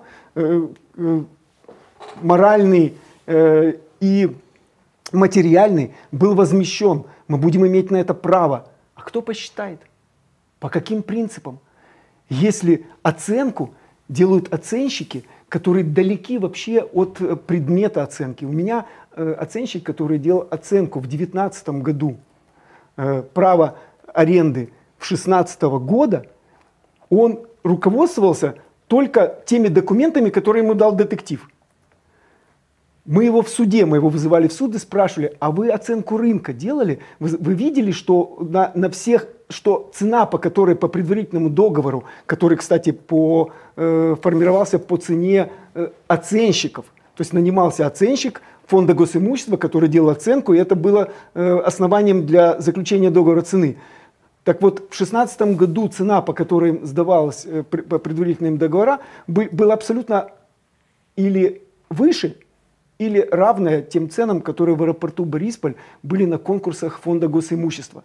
И когда он говорит, что на конкурс обязательно бы повысил бы цену в 2016 году на эти э, помещения, ну так я вам хочу сказать, что э, из э, более 40 э, договоров, э, заключенных фондом в этот период 2016 года, больше 30, сейчас не помню точную цифру, было не по конкурсу, а по процедуре оценки покупательского спроса. Угу. Потому что это политический орган, который проводил все эти процедуры, когда, когда имел правильного э, контрагента. Угу. Э, и все это, поэтому это настолько необъективная вещь, вот эта оценка. И если мы не, не научимся культуре правильной оценки, то мы ни в каких международных судах не докажем свой ущерб, потому что то, что несут в суд – НАБУ с точки зрения оценки, ну, это э, отсутствие полной логики. Там нет экономических оснований под это. Ну, если я так понимаю, что ущерб насчитан э, именно как с точки зрения фонду, что типа вот фонд как бы не что ну, там Это отдельный вопрос, почему, почему фонд э, по двум отдельным договорам, а не по всем 150, э, посчитал себя э, потерпевшим. Да-да. Только в этих договорах он потерпевший. При том, что, понимаете, какой же он потерпевший, если с предварительных договоров 70%, как положено при любом э, распределении э, аренды, э, государственного имущества, аэропорт Борисполь отправлял в фонд госимущества. Понимаете, то есть они получали деньги э, от, от, от тех договоров, которых бы не было до момента проведения ими процедуры. Угу. Сами вовремя не проводили процедуры, а, а, виноват, а виноват я. Потому что я заключил договор в интересах аэропорта, в интересах э, этих самых наших пассажиров, в интересах авиакомпании. Вот такая вот интересная история. Ну, давайте поговорим о чем-то более... Я просто, ну, просто Коля сбил, как бы, на самом деле, я, я, я собрался об этом говорить в конце, для того, потому что, как бы, ну, ну, чтобы пройти всю логику вообще, вот как развивалось все, как это. Ну, ну Коля со своим э, кельтским этим... Ну, хорошо, важный вопрос надо задавать окей, окей, ну, Нет. Нет, важно разно двигаться в логике определенно, для того, чтобы человек... Потому что вот люди сейчас, вот они начали слушать, э, и э, хоп, мы погрузили ситуацию, которая ни тебе не понятна, ни мне не понятна, ну, никому не понятна, там, да? И мы начинаем разбираться, ну, найти как бы логику, понимаешь? Угу. Вот, ну, вот, э, я, просто, я, я просто вот о чем, о, о чем, вот, вот, вот что условно вот говорит Евгений. Вот я, я встречался с производителями дронов, вот они говорят, мы можем уже развернуто производство. Вот, мы там можем разведчиков делать, там дроны камикадзе делать, там как бы там, да, прошли какую-то сертификацию внутри Министерства обороны там, вот, и дальше, и дальше им говорят, все, вот мы вас сертифицировали, дальше вот все, контракты подписывайте, мы подписываем контракты, все пойдет хорошо, как бы там, да, вот, э, бери его и э, выделяй из госбюджета деньги, потому что ну, в этом есть огромная потребность. Мы все собираем эти гребаные дроны, вот, э, которые завозятся прямо, правдами, неправдами. Там, через... А тут э, куча производителей, куча, на самом деле это не один производитель, их куча, которые стоят в очереди и говорят, давайте деньги, мы будем производить. Да. Все, все для этого есть. Проходит, они прошли сертификацию. Да. Говорят, давайте, давайте, проходит полтора месяца, вот, ничего не двигается. То есть, то есть они чего-то ждут, как бы там, да, вот, э, то ли занесут там что-то, uh-huh, то, uh-huh. то ли еще что-то, должно произойти какое-то чудо. То есть цена этой медлительности, я это все почему зову? Это про скорость принятия да, решений, и конечно. Да, это то, о чем говорит Женя, что цена этой медлительности, это же на всех уровнях так, цена этой медлительности это ну просто тысячи жизней, которые просто гибнут, э, э, разрушение, разрушение инфраструктуры, потери боевой техники и всего остального, не нанесенный ущерб врагу там, и так далее. Вот. Потому что они находятся в протоколах мирного времени, вот. И эти протоколы, которые были подписаны, как вот абсолютно здесь правильно писали, в, э, там еще при Сталине там, или при Хрущеве, Брежневе в лучшем случае, они определяют всю логику принятия решений. И люди даже не напрягаются, чтобы выйти вот за рамки вот этих протоколов и посмотреть, ну, а что же отвечает нашим потребностям. Юра, а может они боятся? И они боятся, да. Потому что они боятся отступить от протоколов. Им да. никто не дал эту свободу да. принятия решений. Вот в чем проблема. Мы же не конкурентны не потому, что мы дурнее или чего-то не знаем. У, нас, у нас очень развитая на самом деле нация. Очень развитая. Мы прогрессивны. Мы ограничены скоростью принятия решений, потому что мы весь старый багаж законодательный тянем за собой вместо того, чтобы его менять. Угу. Условий нет для скорости. То есть, условно, а... надо 20 законов, вот взять вот это все, нахрен снести. Сто процентов. Вот принять там закон из 20 пунктов, я не знаю, там, да, вот если брать вашу сферу, там, да, ну и, и все, и пошли вперед. Ну, ну вот смотрите, сейчас вот мы сидим в эфире, параллельно идет э, сейчас э, э, мера пресечения принимается для пивоварского, да, то есть кто-то может не смотрит ваш эфир, потому что в прямой трансляции угу. идет этот процесс, да. Сегодня же, да, э, Укрпочта, в конкуренции с новой почтой сегодня заявляет о том, что пан Свиляский, э, заявляет о том, что мы будем снижать э, расценки для, для передач с Польшей, угу. для всех этих своих отправлений и так далее. Укрзалезница сегодня же тоже вторит Укрпочте и говорит, и мы будем снижать наши все тарифы, угу. потому что это сегодня злоба дня, конкуренция, необходимо обеспечить потоки и так далее, поддержать экономику и так далее. А кто сказал, что это все вот прям не будет воспринято как э, нанесение ущерба, угу. как, как в некоторых случаях? То есть это смелые люди. То есть, смотрите, погружаю в контексте Пивоварского. Какой-то следователь в НАБУ, вот, он сидит такой и думает, а, ну, ему же нужно, нужно гнать вал показателей. Все же НАБУ обвиняют в том, что вышли довели до, до конца или чего. Ну, реально же там вот угу. сколько денег было выделено на то, чтобы она работала тогда, а реально на выходе пшик. То есть никто не посаживает. И вот они схаменулись, типа схаменулись в какой плане, что нужно дать какой-то вал показателей. Вот. И они начинают искать, как бы этот, кому прицепиться там, да. И вот Пивоварского же там обвиняют с, с Шульмейсером тоже, там Володя, который тоже знает, обвиняют в том, что они понизили ставки в портах, вот. И это якобы нанесло экономический ущерб, потому что ну, государство получило, не, до, ну, э, не, дополучило, не дополучило а, какую-то прибыль. Но они... всегда ключевой, извини, что перебил, да. но всегда ключевой вопрос контекст. Потому что если ты смотришь э, условно в промежутке одного месяца, и государство недополучило прибыль, и в промежутке 10 лет, то ты абсолютно разные тенденции могут быть. Они разделили доходы морского порта между государством и частной компанией, как это прописано, кстати, в законе. Угу. Но на момент этого разделения, которое в принципе абсолютно справедливо, потому что частная компания сделала дно углубления, которое, о котором должно было позаботиться государство угу. за свои деньги, да, и начали собирать тарифы на дальнейшее дно углубления. Угу. Эти деньги лежат у компании на счету 30 миллионов. Это целевые деньги эти деньги эта компания сможет потратить вновь только на дно углубления. Угу. Только сегодня они не могут потратить эти деньги, потому что э, э, военная ситуация. Сегодня никто же не будет заниматься дно углублением. эти деньги, а Самое ключевое то, что эти отношения между хозяйственным субъектом рынка и государством должно было быть, как во всем мире, обеспечено договором концессии. Это обычные концессионные отношения, когда инвестор вкладывает деньги, а потом получает совместно с государством э, определенную долю от э, доходов.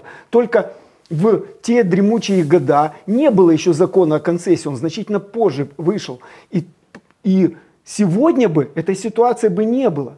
Более того, я хочу сказать, если бы вовремя была акционирована компания «Аэропорт Борисполь», то и моей бы ситуации в суде не было, потому что аэропорт бы как э, собственник, акционер, все 100% акций у государства. Вопрос только формы корпоративной, которая имеет аэропорт те же права, что другие, или нет. Угу. Например, Укрзалезница распоряжается прекрасно всем своим имуществом самостоятельно, потому что акционерное общество, Укрпочта тоже.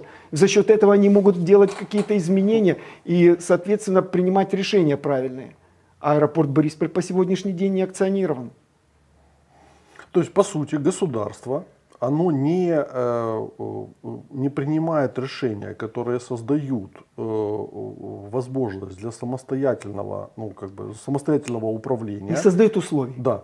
При для этом, эффективной работы да, своих предприятий. Да, при этом остаются какие-то лазейки, которые позволяют фонду госимущества, который реально не управляет активом. Но сейчас значительно лучше, чем да. раньше, потому что сейчас есть прозора продажи, угу, через угу, которую угу. проводятся эти э, тендеры. Опять-таки это делает фонд, а не хозяйственные субъекты. Но смотрите, ну в KPI директору аэропорта прописано увеличение доходов и так далее. А это же важный элемент. То есть у фонда этого нет. У него другие KPI. У него там доходы от э, приватизации и от аренды в том числе. Только а кто от аренды. эти KPI? Э, ну, в контракте прописывается. Ну, это кто, кто заключил? Ну, смотрите, в, в уставе, в уставе да. самого предприятия да. прописано, на что нацелено предприятие. Не, понятно, а вот KPI вы говорите, вот для вас конкретно, вот кто прописал KPI? Э, когда я работал в аэропорту да. Борисполь, к сожалению, у меня не были прописаны KPI. Угу. У меня были задачи, которые я понимал, что пришел на э, убыточное предприятие в, 4, в конце 2014 года, а в 2015 году заканчиваются э, эти самые кредитные каникулы японского кредита за строительство терминала э, D. Угу. И нужно отдавать деньги э, Минфину по японскому кредиту, чтобы не, э, не загонять в дефолт. Понимаете? Угу. То есть нужно было срочно менять э, финансовую ситуацию в аэропорту. Угу. Ну угу. и аэропорт Борисполь это, как любой аэропорт, естественная монополия. Он должен концентрироваться в первую очередь на своей профильной деятельности. Все рыночные виды деятельности должны отдаваться на рынок, и аэропорт не должен в этом участвовать. И, кстати, э, это было одним из э, первых задач, которые я себе поставил. Я пытался от, от, от, с аэропорта отдать на аутсорсинг все виды деятельности, которые ведет аэропорт рыночные. Почему? Потому что аэропорт всегда имеет преимущество. А представьте себе, что такое из публичной сферы аэропорта государственного Борисполь отдать логичные вещи на рынок, это значит нанести ущерб. То есть у меня были споры с э, профсоюзами, меня за галстук стягивали со сцены в клубе, когда я пытался вместе, кстати, с Андреем Пивоварским тогда, он был министром, э, доказывать э, профсоюзным деятелям, что это все на пользу предприятия, что это прогресс. Вот. А через э, несколько лет э, антимонопольный комитет обязал аэропорт Борисполь отдать всю хендлинскую деятельность на рынок и, и не имел права самостоятельно этим заниматься. То есть получается, что я где-то опережал, э, угу. то есть просто по бизнес-логике ты видишь, что нужно для, для развития только ты не получаешь нужных инструментов, и это становится непопулярными действиями. Система сопротивляется сам, сама любым изменениям. И еще, кроме того, что система сопротивляется, ты еще и не имеешь достаточно инструментов. Ты принимаешь решение в какой-то условно серой зоне. А кто находится в этой серой зоне сегодня? Там огромное количество чиновников. А военные в какой зоне находятся? А шлях – Министерство инфраструктуры в какой зоне? Он что, имеет всю нормативную документацию? Как? То есть, а что, не надо было волонтера выпуск э, э, через эту систему направлять? Да не только волонтера, вообще, ну как бы... Ну, э, я просто... И бизнес, потому что и бизнес это Конечно. использует для того, чтобы есть, выезжать. С, смотрите, если знать. пользоваться только буквой закона, не духом закона, а буквой закона, то все остановится. Вот никакого прогресса не будет, потому что изменение законодательства не успевает за изменениями обстоятельств. Мы что, блокпосты построили по проектам?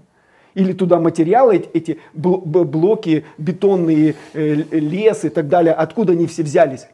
А ну, накладные, может, на это? Давайте кого-то посадим, может, за это. Ведь серая зона, она очень большая тогда, когда нет свободы. Ну, тут самое главное, мне кажется, вообще, что вот политика антикоррупционных органов, она должна быть прямо направлена на тех, кто получает личную выгоду, незаконное сбагачение, там, или это хабар, или это вы сделали, например, в рамках того, чтобы, там, ну, условно, свой бизнес развить, да, то есть, ну, я сейчас утрирую, то есть вы использовали какие-то полномочия для того, чтобы свой бизнес дать, предоставить себе личную преференцию. Я понимаю логику того, что делают, например, в Одессе относительно там Кауфмана Грановского. То есть это понятно. То есть люди создали бэк-офис, э, отжали себе аэропорт, там, да, как бы в Одессе, э, зарабатывали деньги на, на всем, что можно обелетить в Одессе. Все это знают, как бы огромное количество зафиксированных фактов. Там Марк Горденко про это говорил, там очень много, и, и разные люди. Э, то есть тут понятно, есть конкретные бенефициары. Есть которые... мотив. Да, есть, есть, все есть. Есть инструменты. А тут какая-то непонятная, непонятная, непонятная как это, ущерб, э, да? Ну, Непонятный ущерб, вы, который вы, якобы нанесен. Вы, вы знаете, мы пребывали вообще э, два года э, суда в таком неведении, угу.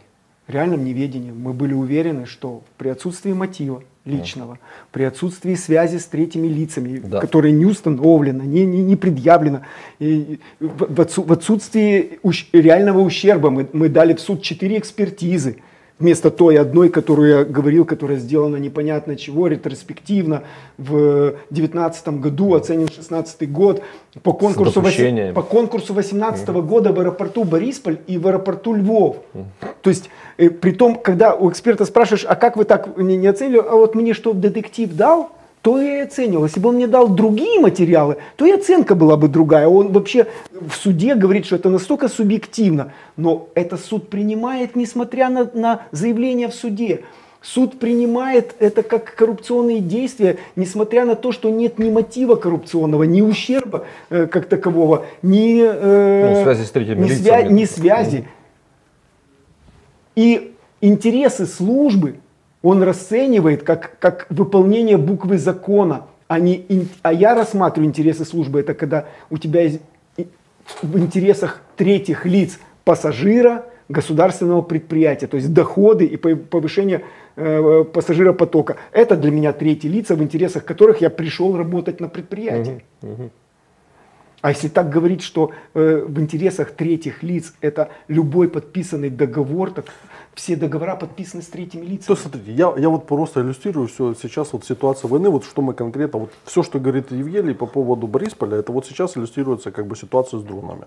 То есть, допустим, ты делаешь mm-hmm. дрон камикадзе, который строит там условно половиной тысячи долларов там, или тысячи долларов, неважно. Вот э, э, ты, он летает, он, э, у него есть параметры, которые позволяют ему достигать целей, все испытано, все это. Но ты не можешь его и просто это реально происходит, чтобы вы понимали. Ты не можешь э, его э, запустить через государство, потому что государство, в государстве сидят там вот эти вот деды, которые говорят так, вы, вы должны пройти вот эти все э, нормы, там, дозы, вот эти вот, дозвелы вот эти все получить, там, чтобы там была речка какая-то, там, с одного материала, другого. А если, а если речка с, не с такого материала, то это нарушение. Хотя он из говна и палок собран, как, э, э как, как, как, как, как эти шахиды, как бы там, да, вот, которые из говна и палок собираются, там, из китайских деталей, там, из американских каких-то деталей, летит и уничтожает, наносит, и и у этого дрона тоже такая же задача. Но за счет того, что вот они сидят это на нормативной базе, и она вся направлена на то, чтобы, а, ты пришел, занес им деньги, вот. Б, чтобы закрыть свою жопу и, и ничего, э, ну, ну, как бы, не, иметь стопроцентную гарантию, что тебя потом не возьмут жабры, если этот дрон там где-то упадет не так или, или, или что-то еще. И в результате мы теряем, год прошел, год прошел, мы производим в месяц там, э, ну, ну ну, очень, очень мало дронов. Там, да? вот. Потому, что, потому, что, потому что вот эта вся система, она не отталкивается там, от здравого смысла и от потребностей, ну, которые может, здесь есть. Ну, может, хоть страх нас заставит? Нет. Не принимать другие не решения. Здесь, это же уже вопрос страха. Тут уже не эффективность, не конкуренция. Вот то, что ты рассказываешь, это, это, это уже страх должен э, руководствовать да. нами для того, чтобы дать свободу принятия решений. Да чтобы, чтобы ну, в бизнесе э, бизнесмен, почему, э, ну вот действительно, это же это вот суть вообще дискуссии по поводу того, эффективный бизнес, почему бизнес эффективнее, чем государство. Да он эффективнее там, где государство, там, где государство, ну, там, где он не связан с государством. Да, не, да, там, где он не связан с государственными этими нормами. Конечно. Потому что он, ему не нужно эту всю нормативку 250 раз как бы это пересматривать и отталкиваться от нее. Ну. И наоборот, там, где государство, там, где у государства Э, как бы возможностью управлять э, э, активами в той же логике, как и бизнес, у него все получается, все очень быстро, как бы все быстро работает, все, все, все зарабатывает. Ну, смотрите, но есть, есть и примеры исторические в Украине прекрасного понимания интересов службы. Все, все любят Киевский вокзал железнодорожный. Помнят его до реконструкции, до того, как построили Южный вокзал, как реконструировали Центральный вокзал? За 9 месяцев. За 9 месяцев был реконструирован вокзал без остановки пассажирского движения. То есть в условиях соблюдения норм законодательства это невозможно. То есть дали возможность сделать это. Героя Украины получил э, Георгий Кирпа. То есть, а скоростное движение, Хундаи и так далее, к Евро-12, то они бы в жизни бы не, если бы соблюдалось все э, согласно украинских ГОСТов, приемка этих поездов, они бы никогда не начали ездить по нашим железным дорогам. То есть были вынуждены в серой зоне принимать правильные решения в интересах службы. А электронный билет, который к 2012 году, к э, чемпионату был запущен на железной дороге, представьте себе, что бы если его не было. Сотни тысяч иностранцев, которые купили билет до Киева на самолет, прилетают туда и попадают в руки жуликов-перекупщиков билетов. Вместо того, чтобы купить заранее себе на, на сайте билет до Днепра, до Львова, до Харькова, там, где проходили э, встречи футбольные. Представляете? А что, была полностью подготовлена нормативная база? Нет, я просто знаю, как свидетель этих событий. Тогда работал главным инженером пассажирского хозяйства аэропорта, э, этого самого, Укрзалезницы. Я был в процессе как раз приемки этих поездов, э, угу. подготовки э, электронного билета. То есть огромное количество есть примеров, где это необходимо. И в аэропорту Борисполь моя позиция была точно так же. Это необходимо было. Необходимо было для того, чтобы обеспечить рост и развитие аэропорта, чтобы мы получили уже в конце 2017 года тот аэропорт, который мы любили и считали его лучшим, чем, чем многие э, европейские аналоги. Ну, это было видно по Беларуси. Ты прилетаешь в Беларуси тогда, вот в, в, в, в, те, в те годы, как бы там, да, когда э, этот э, условная конкуренция начиналась там. И как украинский, это как украинский выглядел аэропорт, и как, и как их выглядел. Да.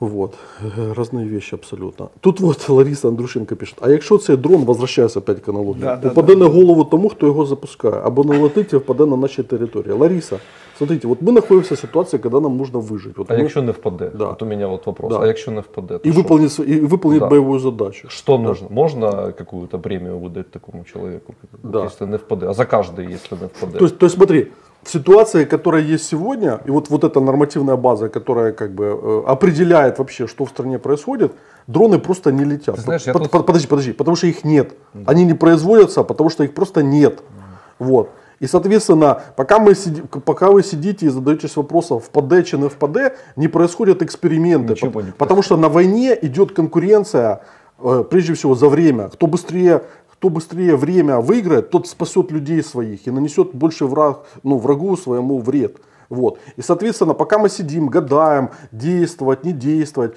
да если бы так, ну, если бы вот все происходило вот в такой логике, то мы бы проиграли еще в начале войны все. Потому что тысячи людей, сотни тысяч людей, они, не, огляд... мы... они не оглядывались на государство. Мы бы Киев не да, защитили. Да, мы бы Киев... Э, Арестович, который, которому я звонил, э, говорил, что там нужно раздать со склада боеприпасы, звонил как бы из офиса, и э, э, под, пас, под паспорт людям сказал раздать боеприпасы, потому что, ну, как бы это так, нужно... Тьма примеров. Да. Так его, он, наверное, его тоже под суд тоже отдать, за то, что какие-то нормативные, не согласовано было там, ни с Минобороны, ни с Генштабом, ну, не, а, ну а как? Так они брали эти боеприпасы через три три э, часа э, первую колонну вмочили и взяли пленных и, и БМП там разбили. Там, а зарубежное да. оружие нам брать или не брать? Да. А, а, а, а, а какая приемка? Да, может, мы испытания проводим, там, я, я не эксперт, я просто аналогию провожу, потому что я много техники, как инженер, принимал для государственных предприятий, я знаю, что такое процедура, по ней вообще можно э, забыть что-то получить вовремя.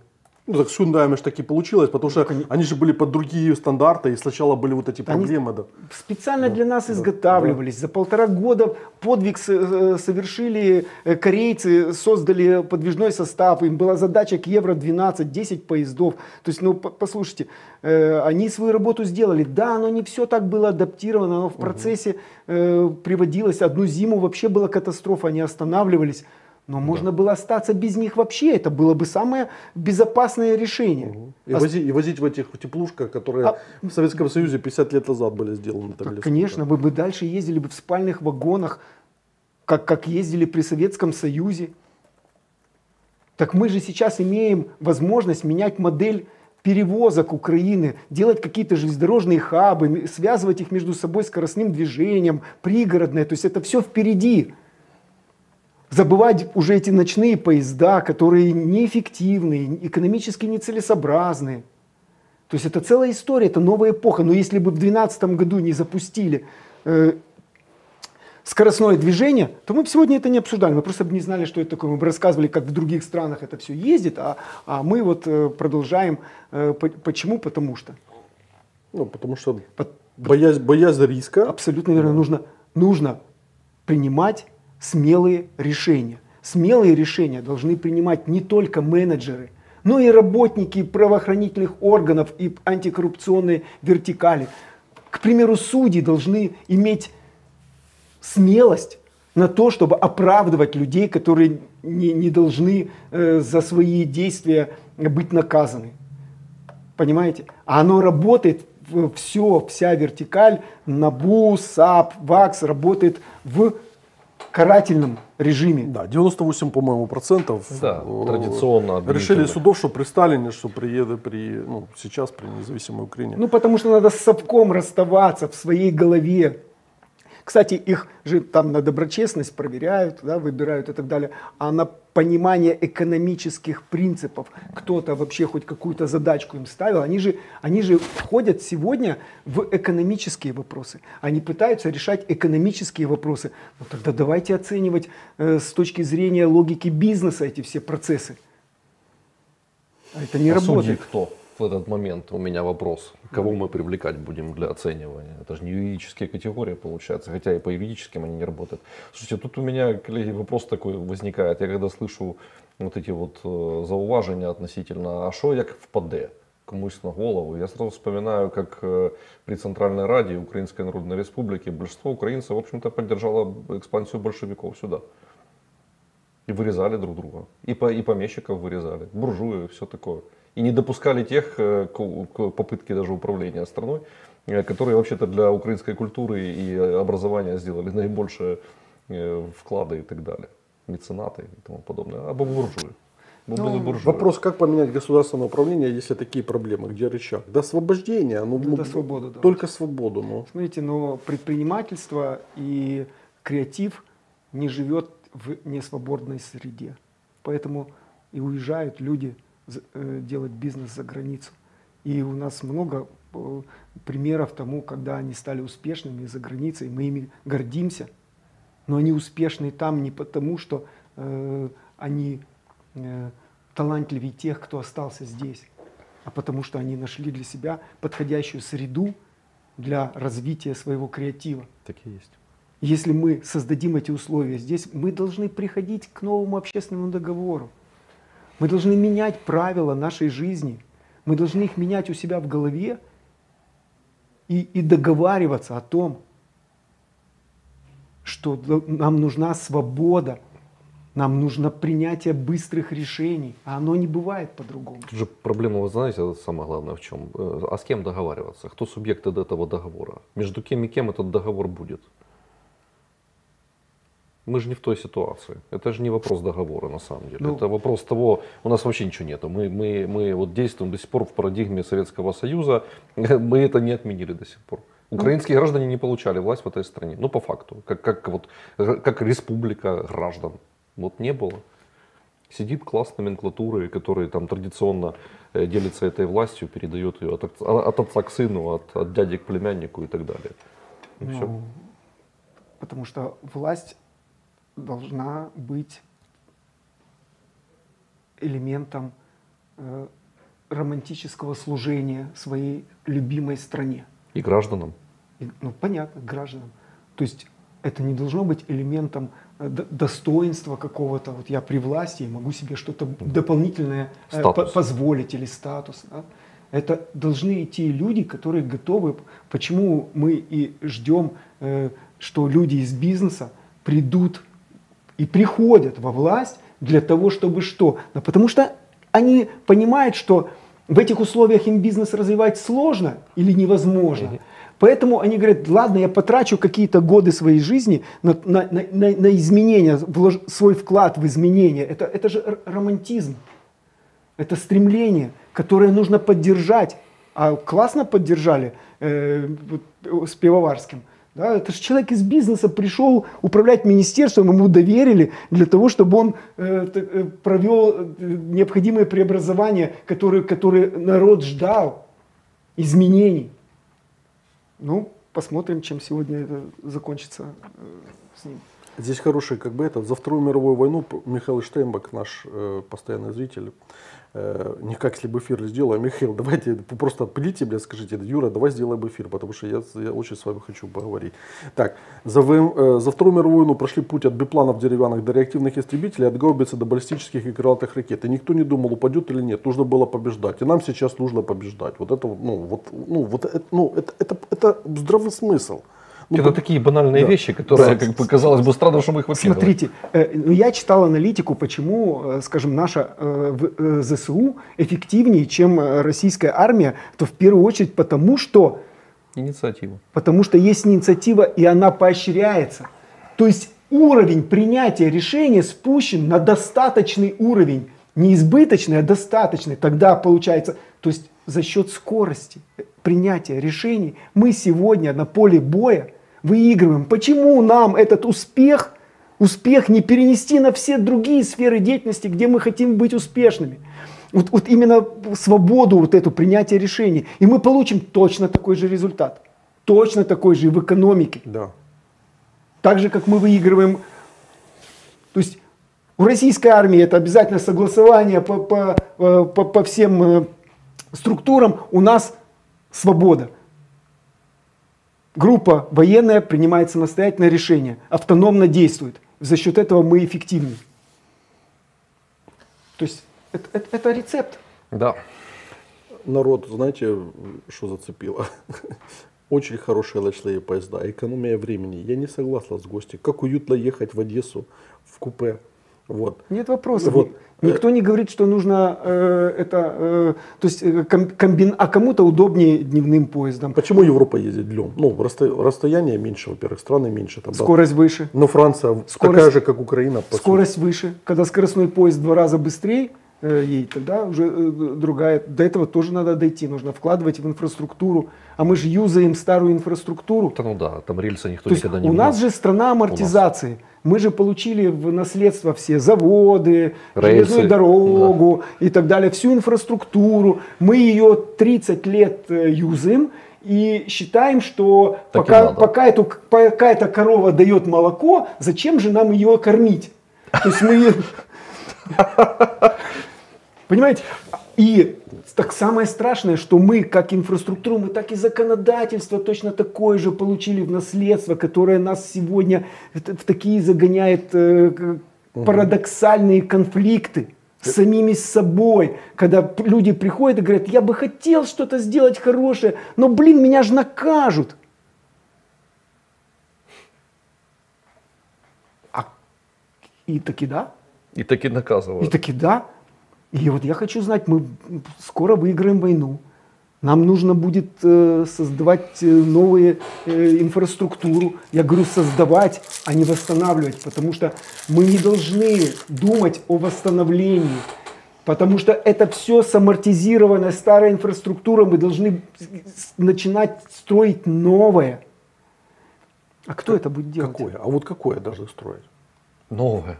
Ну вот новое в какой логике? Потому что вот здесь... В логике прогресса. Вот, вот смотрите, у нас же люди вот как мыслят. Вот, э, вот этот разговор о вагонах, ой, о ночных поездах, он же на самом деле вот именно... Затронул за живое. Он затронул за живое, и это же глубоко укорененное. То есть у нас... Ностальгические лю... воспоминания. Это во-первых. Первое. Тык-тык-тык. Так хорошо спится. Прекрасный вагон. Да, да, да. Этот чай колеблется в этом подстаканнике, который звенит. Конечно. А потому что мы же ездили. И почти совсем разговоры не слышно разговоры, запах туалета. Да, запах туалета и разговоры. не слышно. И разговоры за этим. Потому что транспорт это бизнес с одной стороны, предприятие, которое обеспечивает транспортировку, это бизнес, он должен быть эффективным и, соответственно, выгодным для получения. А второе, те, кто едут, должны больше половины ехать по бизнесу. А те, кто едет по бизнесу, они экономят времени, время свое. А значит, опять про скорость. Нам нужны скорости во всем. В том числе и в железной дороге. Тот, кто едет в отпуск или к родственникам в Одессу, так, конечно, пускай едут ночным поездом. А, а кто-то выйдет рано утром, а после обеда решит вопрос, а веч- вечером уже вернется ночным поездом. Но смотрите, на самом же деле и, и даже тот, кто по бизнесу не едет, тот, кто едет в отпуск, он, когда едет быстрее, он выигрывает время, которое может провести на отдыхе, как бы на том же самом. То есть у нас люди лицелят время по, по каким-то по, по, по, по, по каким-то В крайнем случае у меня сегодня есть право выбора. Да. Хочешь едь сидя, хочешь едь лежа. То есть, но, но мы это право выбора получили только благодаря евро. И задачи, когда государство сказало, ничего не вижу, дайте мне поезда. Если бы этого не было, то не было бы поездов. Смысл в том, что ты сел в 22, а вышел в 7 утра. И целый день свободный. Отлично. Ну, не выспался. Ты, я не знаю, я, не, я никогда нормально не могу выспаться в поездах. Как бы, это, да? вот. И, и если есть возможность ехать 2 часа там, или 3 часа. Там, ну, и, электронный билет не да, критикует, да? да? Все нормально? Да. Ну, слава богу. Вот. И... Скор, скоростные поезда, конечно, а, они э, не совсем сегодня отвечают правильной модели оперирования, да, то есть они должны соединять между собой хабы, то есть должны быть пересадочные модели, да, ну так как весь мир живет. Конечно, э, ведь понимаете, вот эти ночные поезда, если мы уже об этом говорим. Это странно, что мы это об этом ж, говорим. Да, но это же нам досталась советская модель, вот тогда вообще было Москва ориентированное все сообщение. То есть мы просто взяли, а, а, когда э, в 91 году отрезали территорию, то так и остались железные дороги, мы же ничего не поменяли. Поэтому спорный вопрос, согласен, не стоит э, на этом акцентировать внимание. Не, ну людей задевает, да при чем здесь ностальгия? Это экономия дневного времени. Ну вот я приезжаю в Днепр, я ехал. И ну, денег на гостиницу, я выступ... есть свои преимущества я, выступ... я, я, я выступал в Днепре, вот вы меня приглашали без осмыла, я выступал в Днепре, не знаю, это месяца два назад или три назад, уже время быстро летит. Вот я ехал назад в, в этом ночном поезде, вот где меня порадовали тем бумажными стаканчиками, сказали, скоро будут подстаканники, будет все как раньше. Я говорю, ну хорошо, как говорю, раньше. порадовали, говорю, хорошо, порадовали. Но вот я ехал всю в Сочи, я не выспался, вот, вот, то, то жарко, то холодно, то, ну, короче говоря, да. Вот приезжаешь, и ты, и ты опять хочешь спать, вот, вот, вот и весь день на смарку пошел. Мы будем меняться, у нас выхода никакого нет, нас война заставит поменяться. Э, вопрос только мы Э, как, как, будет, как быстро это будем делать. К примеру, ну, Укрзалезница, слава богу, сейчас рассматривает несколько важных проектов э, э узкоколейных для, э, для, для территории Украины. Угу. То есть понимают важность э, узкой колеи, э, интегра... э, э, э, вот это реальная евроинтеграция. Понятно, что мы не поменяем широкую колею на нашем пространстве там, за какой-то короткий срок, но какие-то проекты, которые бы обеспечили пропускную способность для бизнеса, ведь э, морские порты будут в зоне риска даже после нашей победы. Там всегда будет что-то, то есть нам нужно диверсифицировать риски. То есть, э, да, мы, как только откроются порты, наверняка будет выгоднее через порт э, э вести э, товарооборот весь э, с заграничными предприятиями, но нужно сделать себе альтернативный путь в обязательном порядке, и, возможно, его государство должно будет субсидировать, чтобы поддерживать его в так сказать, в, в рабочем состоянии, в отличие от порта. Ведь смешанная э, э, энергетика у нас есть, у нас же э, атомная электроэнергия дает значительно более дешевую энергию. Мы смешиваем это все, делаем что-то среднее. Возможно, здесь тоже нужно будет. Это, это вопросы будущего, но обязательно нам нужно интегрироваться, интегрироваться и, конечно же, в законодательном плане и в, в сфере свобод. В Японії всього два нічних потяга. Пропоную брати приклад з японців. От ми... Людей за дело. Да. Ну... вот. Ночные поезда в том числе решают вопрос гостиниц, экономят средства. И, э, а вот смотрите, вот это ключевое слово, экономят средства. Так проблема же в том, что поливаете, или в том, чтобы сэкономить средства, а в том, чтобы зарабатывать столько, чтобы э, экономить время. Вот, это другая логика. Вот у нас, у нас все сводится к тому, чтобы сэкономить как, э, э этот, э, средств столько, чтобы ты не можешь выскочить на новый уровень. Ну, по так понятно, по потому, что, потому, потому что все время экономишь. Да. И, это, это я к покойной матери приехал из Киева э, э, этот, картошку выкапывать. Она говорит, приезжай выкапывать картошку. Я, я копал картошку, короче говоря, и считал, и считал себестоимость. Сколько короче, я сколько я, потратил, сколько я потратил на билет, сколько я потратил. Не, я, конечно, очень был рад увидеть свою мать, но я считал, вот сколько я потратил на, на, на билет туда-обратно по времени. Ну, Значит, я, на это все и я говорю, смотри, давай я тебе в следующее, вот на следующий год я тебе просто дам вот для картошку эту, чтобы, чтобы вот она была, вот и все. И ты не тратила свои усилия, не тратила свое здоровье, которое э, грубится на это все. Но в конкуренции да. уменьшение затрат один из важнейших факторов – победы конкурентности. Но проблема в том, что весь мир развивается в сторону скоростных поездов, и там есть скорости ну, я уже 500 километров в час. Там не, ну, ну серьезно, 500 км, там ты видишь, как ну, передвигаются люди с сумасшедшими скоростями, но нам надо обсуждать ночной поезд, который будет 14 У нас же часов. это дает еще молоко. Ну, конечно. Же, можно ее не Можно еще чуть-чуть выжать. Ведь для того, чтобы построить скоростное движение, нужно же накормить эту корову, чтобы, чтобы появилось э, скоростное движение. А так еще пока 120, 140, да, 160 оно же едет. Зачем ну, же конечно. вкладывать? То есть это философский рост. А Я все-таки по, про экономию хочу сказать. Что э, есть такая поговорка, я очень люблю, что э, в отличие от доходов, затраты нам всегда гарантированы в бизнесе. То есть это единственное, что гарантировано. Поэтому в конкурентной борьбе на, на рынке, на рынке услуг или товаров, э, себестоимость – это важнейший фактор. Конечно, креатив – это, это все. Поэтому тот, кто сегодня не занимается снижением своих затрат, проигрывает. Однозначно. Поэтому то, что у людей в голове есть экономия, это правильно. Это очень правильный э, фактор. Но нужно понимать, что, когда экономить. Когда время, когда деньги, и все должно да. быть рационально. Просто многие не понимают ценность времени реальную. Что на самом деле это самый главный ключевой ресурс. Самый главный. Вот, потому что все, ты все можешь, как бы, э, все, что можешь, э, вот материального, ты можешь переиграть. Но время это, это ключевой ресурс, потому что ты не будешь его вернуть назад. Сто процентов. Я никому не желаю э, пользоваться услугами дорогих адвокатов, э, вот когда человек точно знает стоимость времени. Ну да. Когда тебе светит 5 лет, там, или 7 лет, или 10 лет, или 15 лет, то ни это, за что. или за что. А то ты полюбо... и, и когда ты платишь почасовую. Да. Ну, конечно. Понимаете?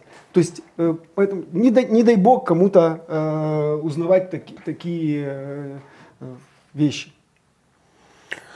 Да. Э, Шикарний ефір. Пишаюся тим, що є спонсором цього каналу. Ліколай Криво, Кривохижа. Ликолай, огромное вам спасибо. Да, вот. и, э, и всем тем, кто действительно выступает в качестве спонсоров нашего канала, чтобы мы могли вот таких э, крутых и интересных людей, как Евгений, э, с их огромным опытом вытаскивать и ну, просто на пальцах объяснять, что без свободы ничего не будет, без скорости ничего не будет без э, э, правильного целеполагания ничего не будет. Ну, я имею в виду в этой стране. Ну, вот еще же интересный фактор. В принципе, мы видим, что вот в военное время да, в экономике все больше и больше роль государства. Ну, потому что бизнес э, сужается, а государственные э, предприятия и так далее, они берут, угу. на, берут на себя основную долю э, рынка. И это правильно, наверняка.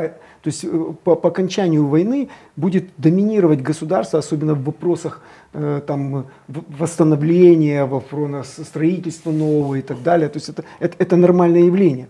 Но на какой-то момент государство, когда забрало большую часть экономики, оно должно будет вернуть это все на рынок. И тут вопрос о возвращении из публичной сферы э, средств в частную. Это же нанесение убытка. Как государство потом ужмется и отдаст это все на рынок? То есть тоже вопрос. Потому что сегодня именно взаимоотношения между государственными предприятиями или государственными институциями и э, рыночными субъектами являются вопросом рассмотрения э, уголовного э, э, самое, вертикали, именно антикоррупционной вертикали.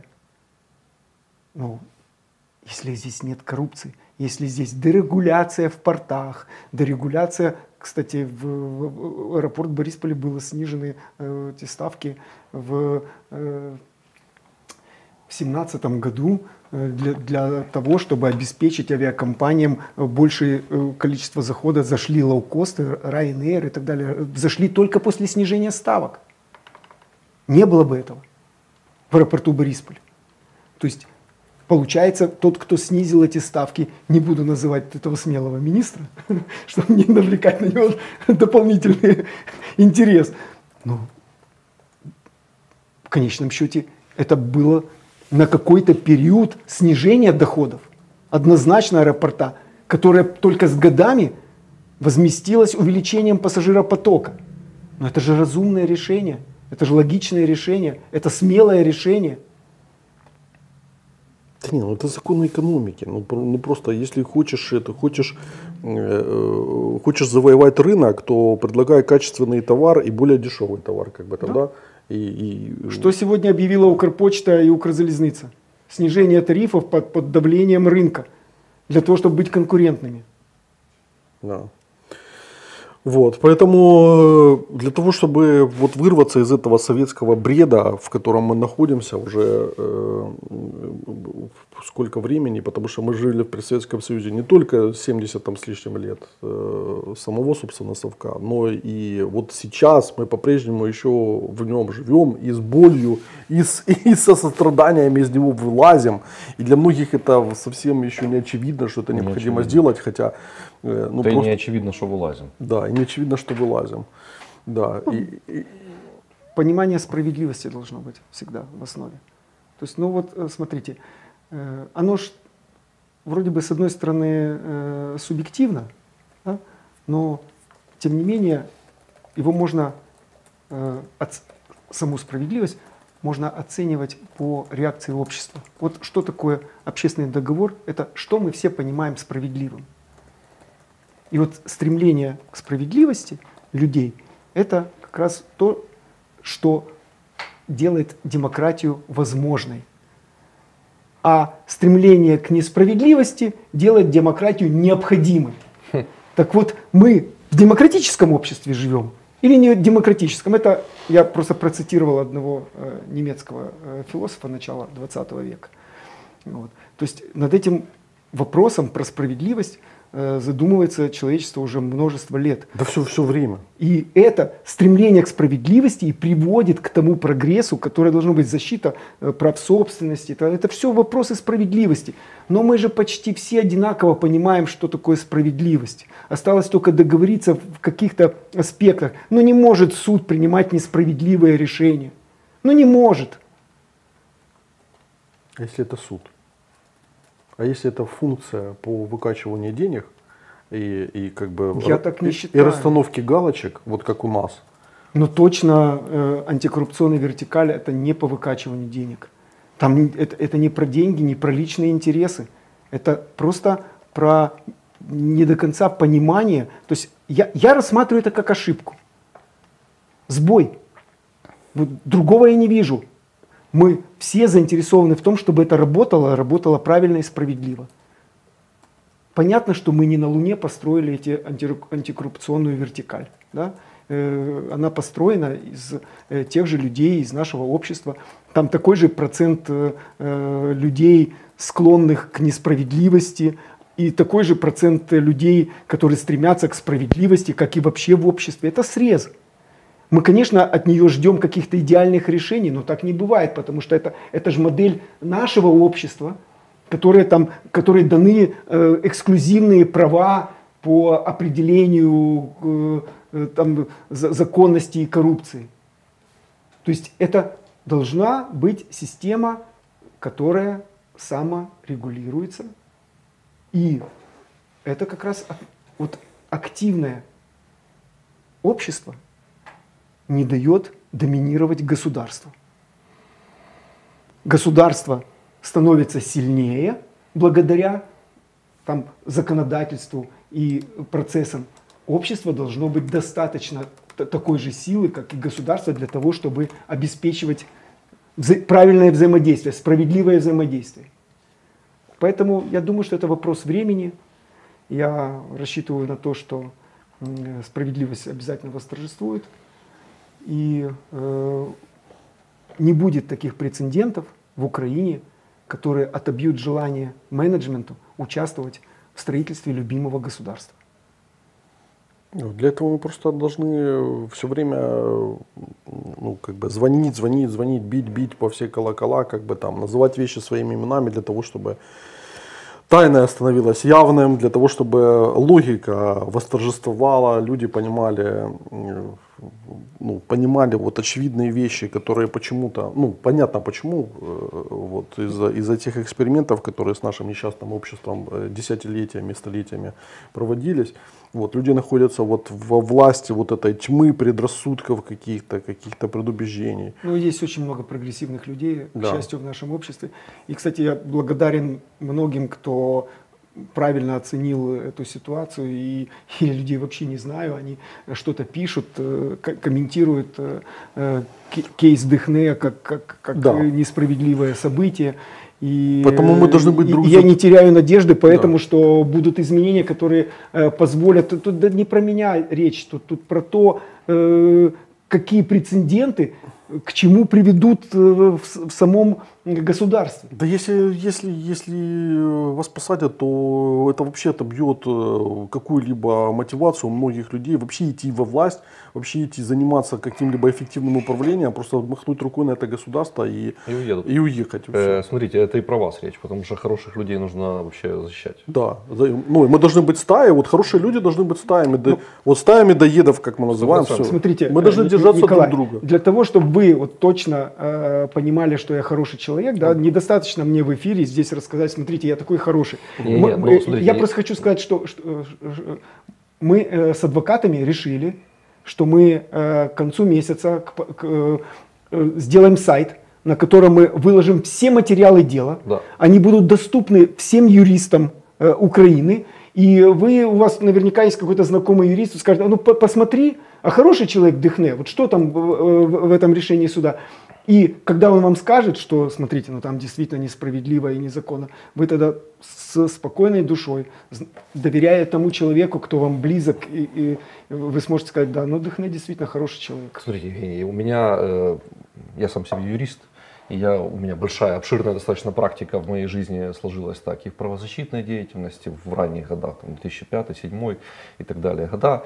И я занимался юриспруденцией без образования фактически, но у меня был и бизнес, и партнеры юристы. Я наработал себе практику, чтобы не опираться на мнение никаких юристов еще дополнительно, потому что э, там сколько юристов, сколько мнений, а мне нужно мое личное. Так вот я очень быстро ознакомившись с, с позицией ваших адвокатов, которые в публичном э, пространстве есть, и это правильно, э, я увидел вот, вот реальность. И я слышу вас, я задал все вопросы, которые меня волнуют, даже несмотря на то, что Юра был против, как бы на, на, на Потому что ты мою логику да, поломал. Ну, я, в другой, есть моя. Я, в, я в другой логике собирался Понимаю. идти.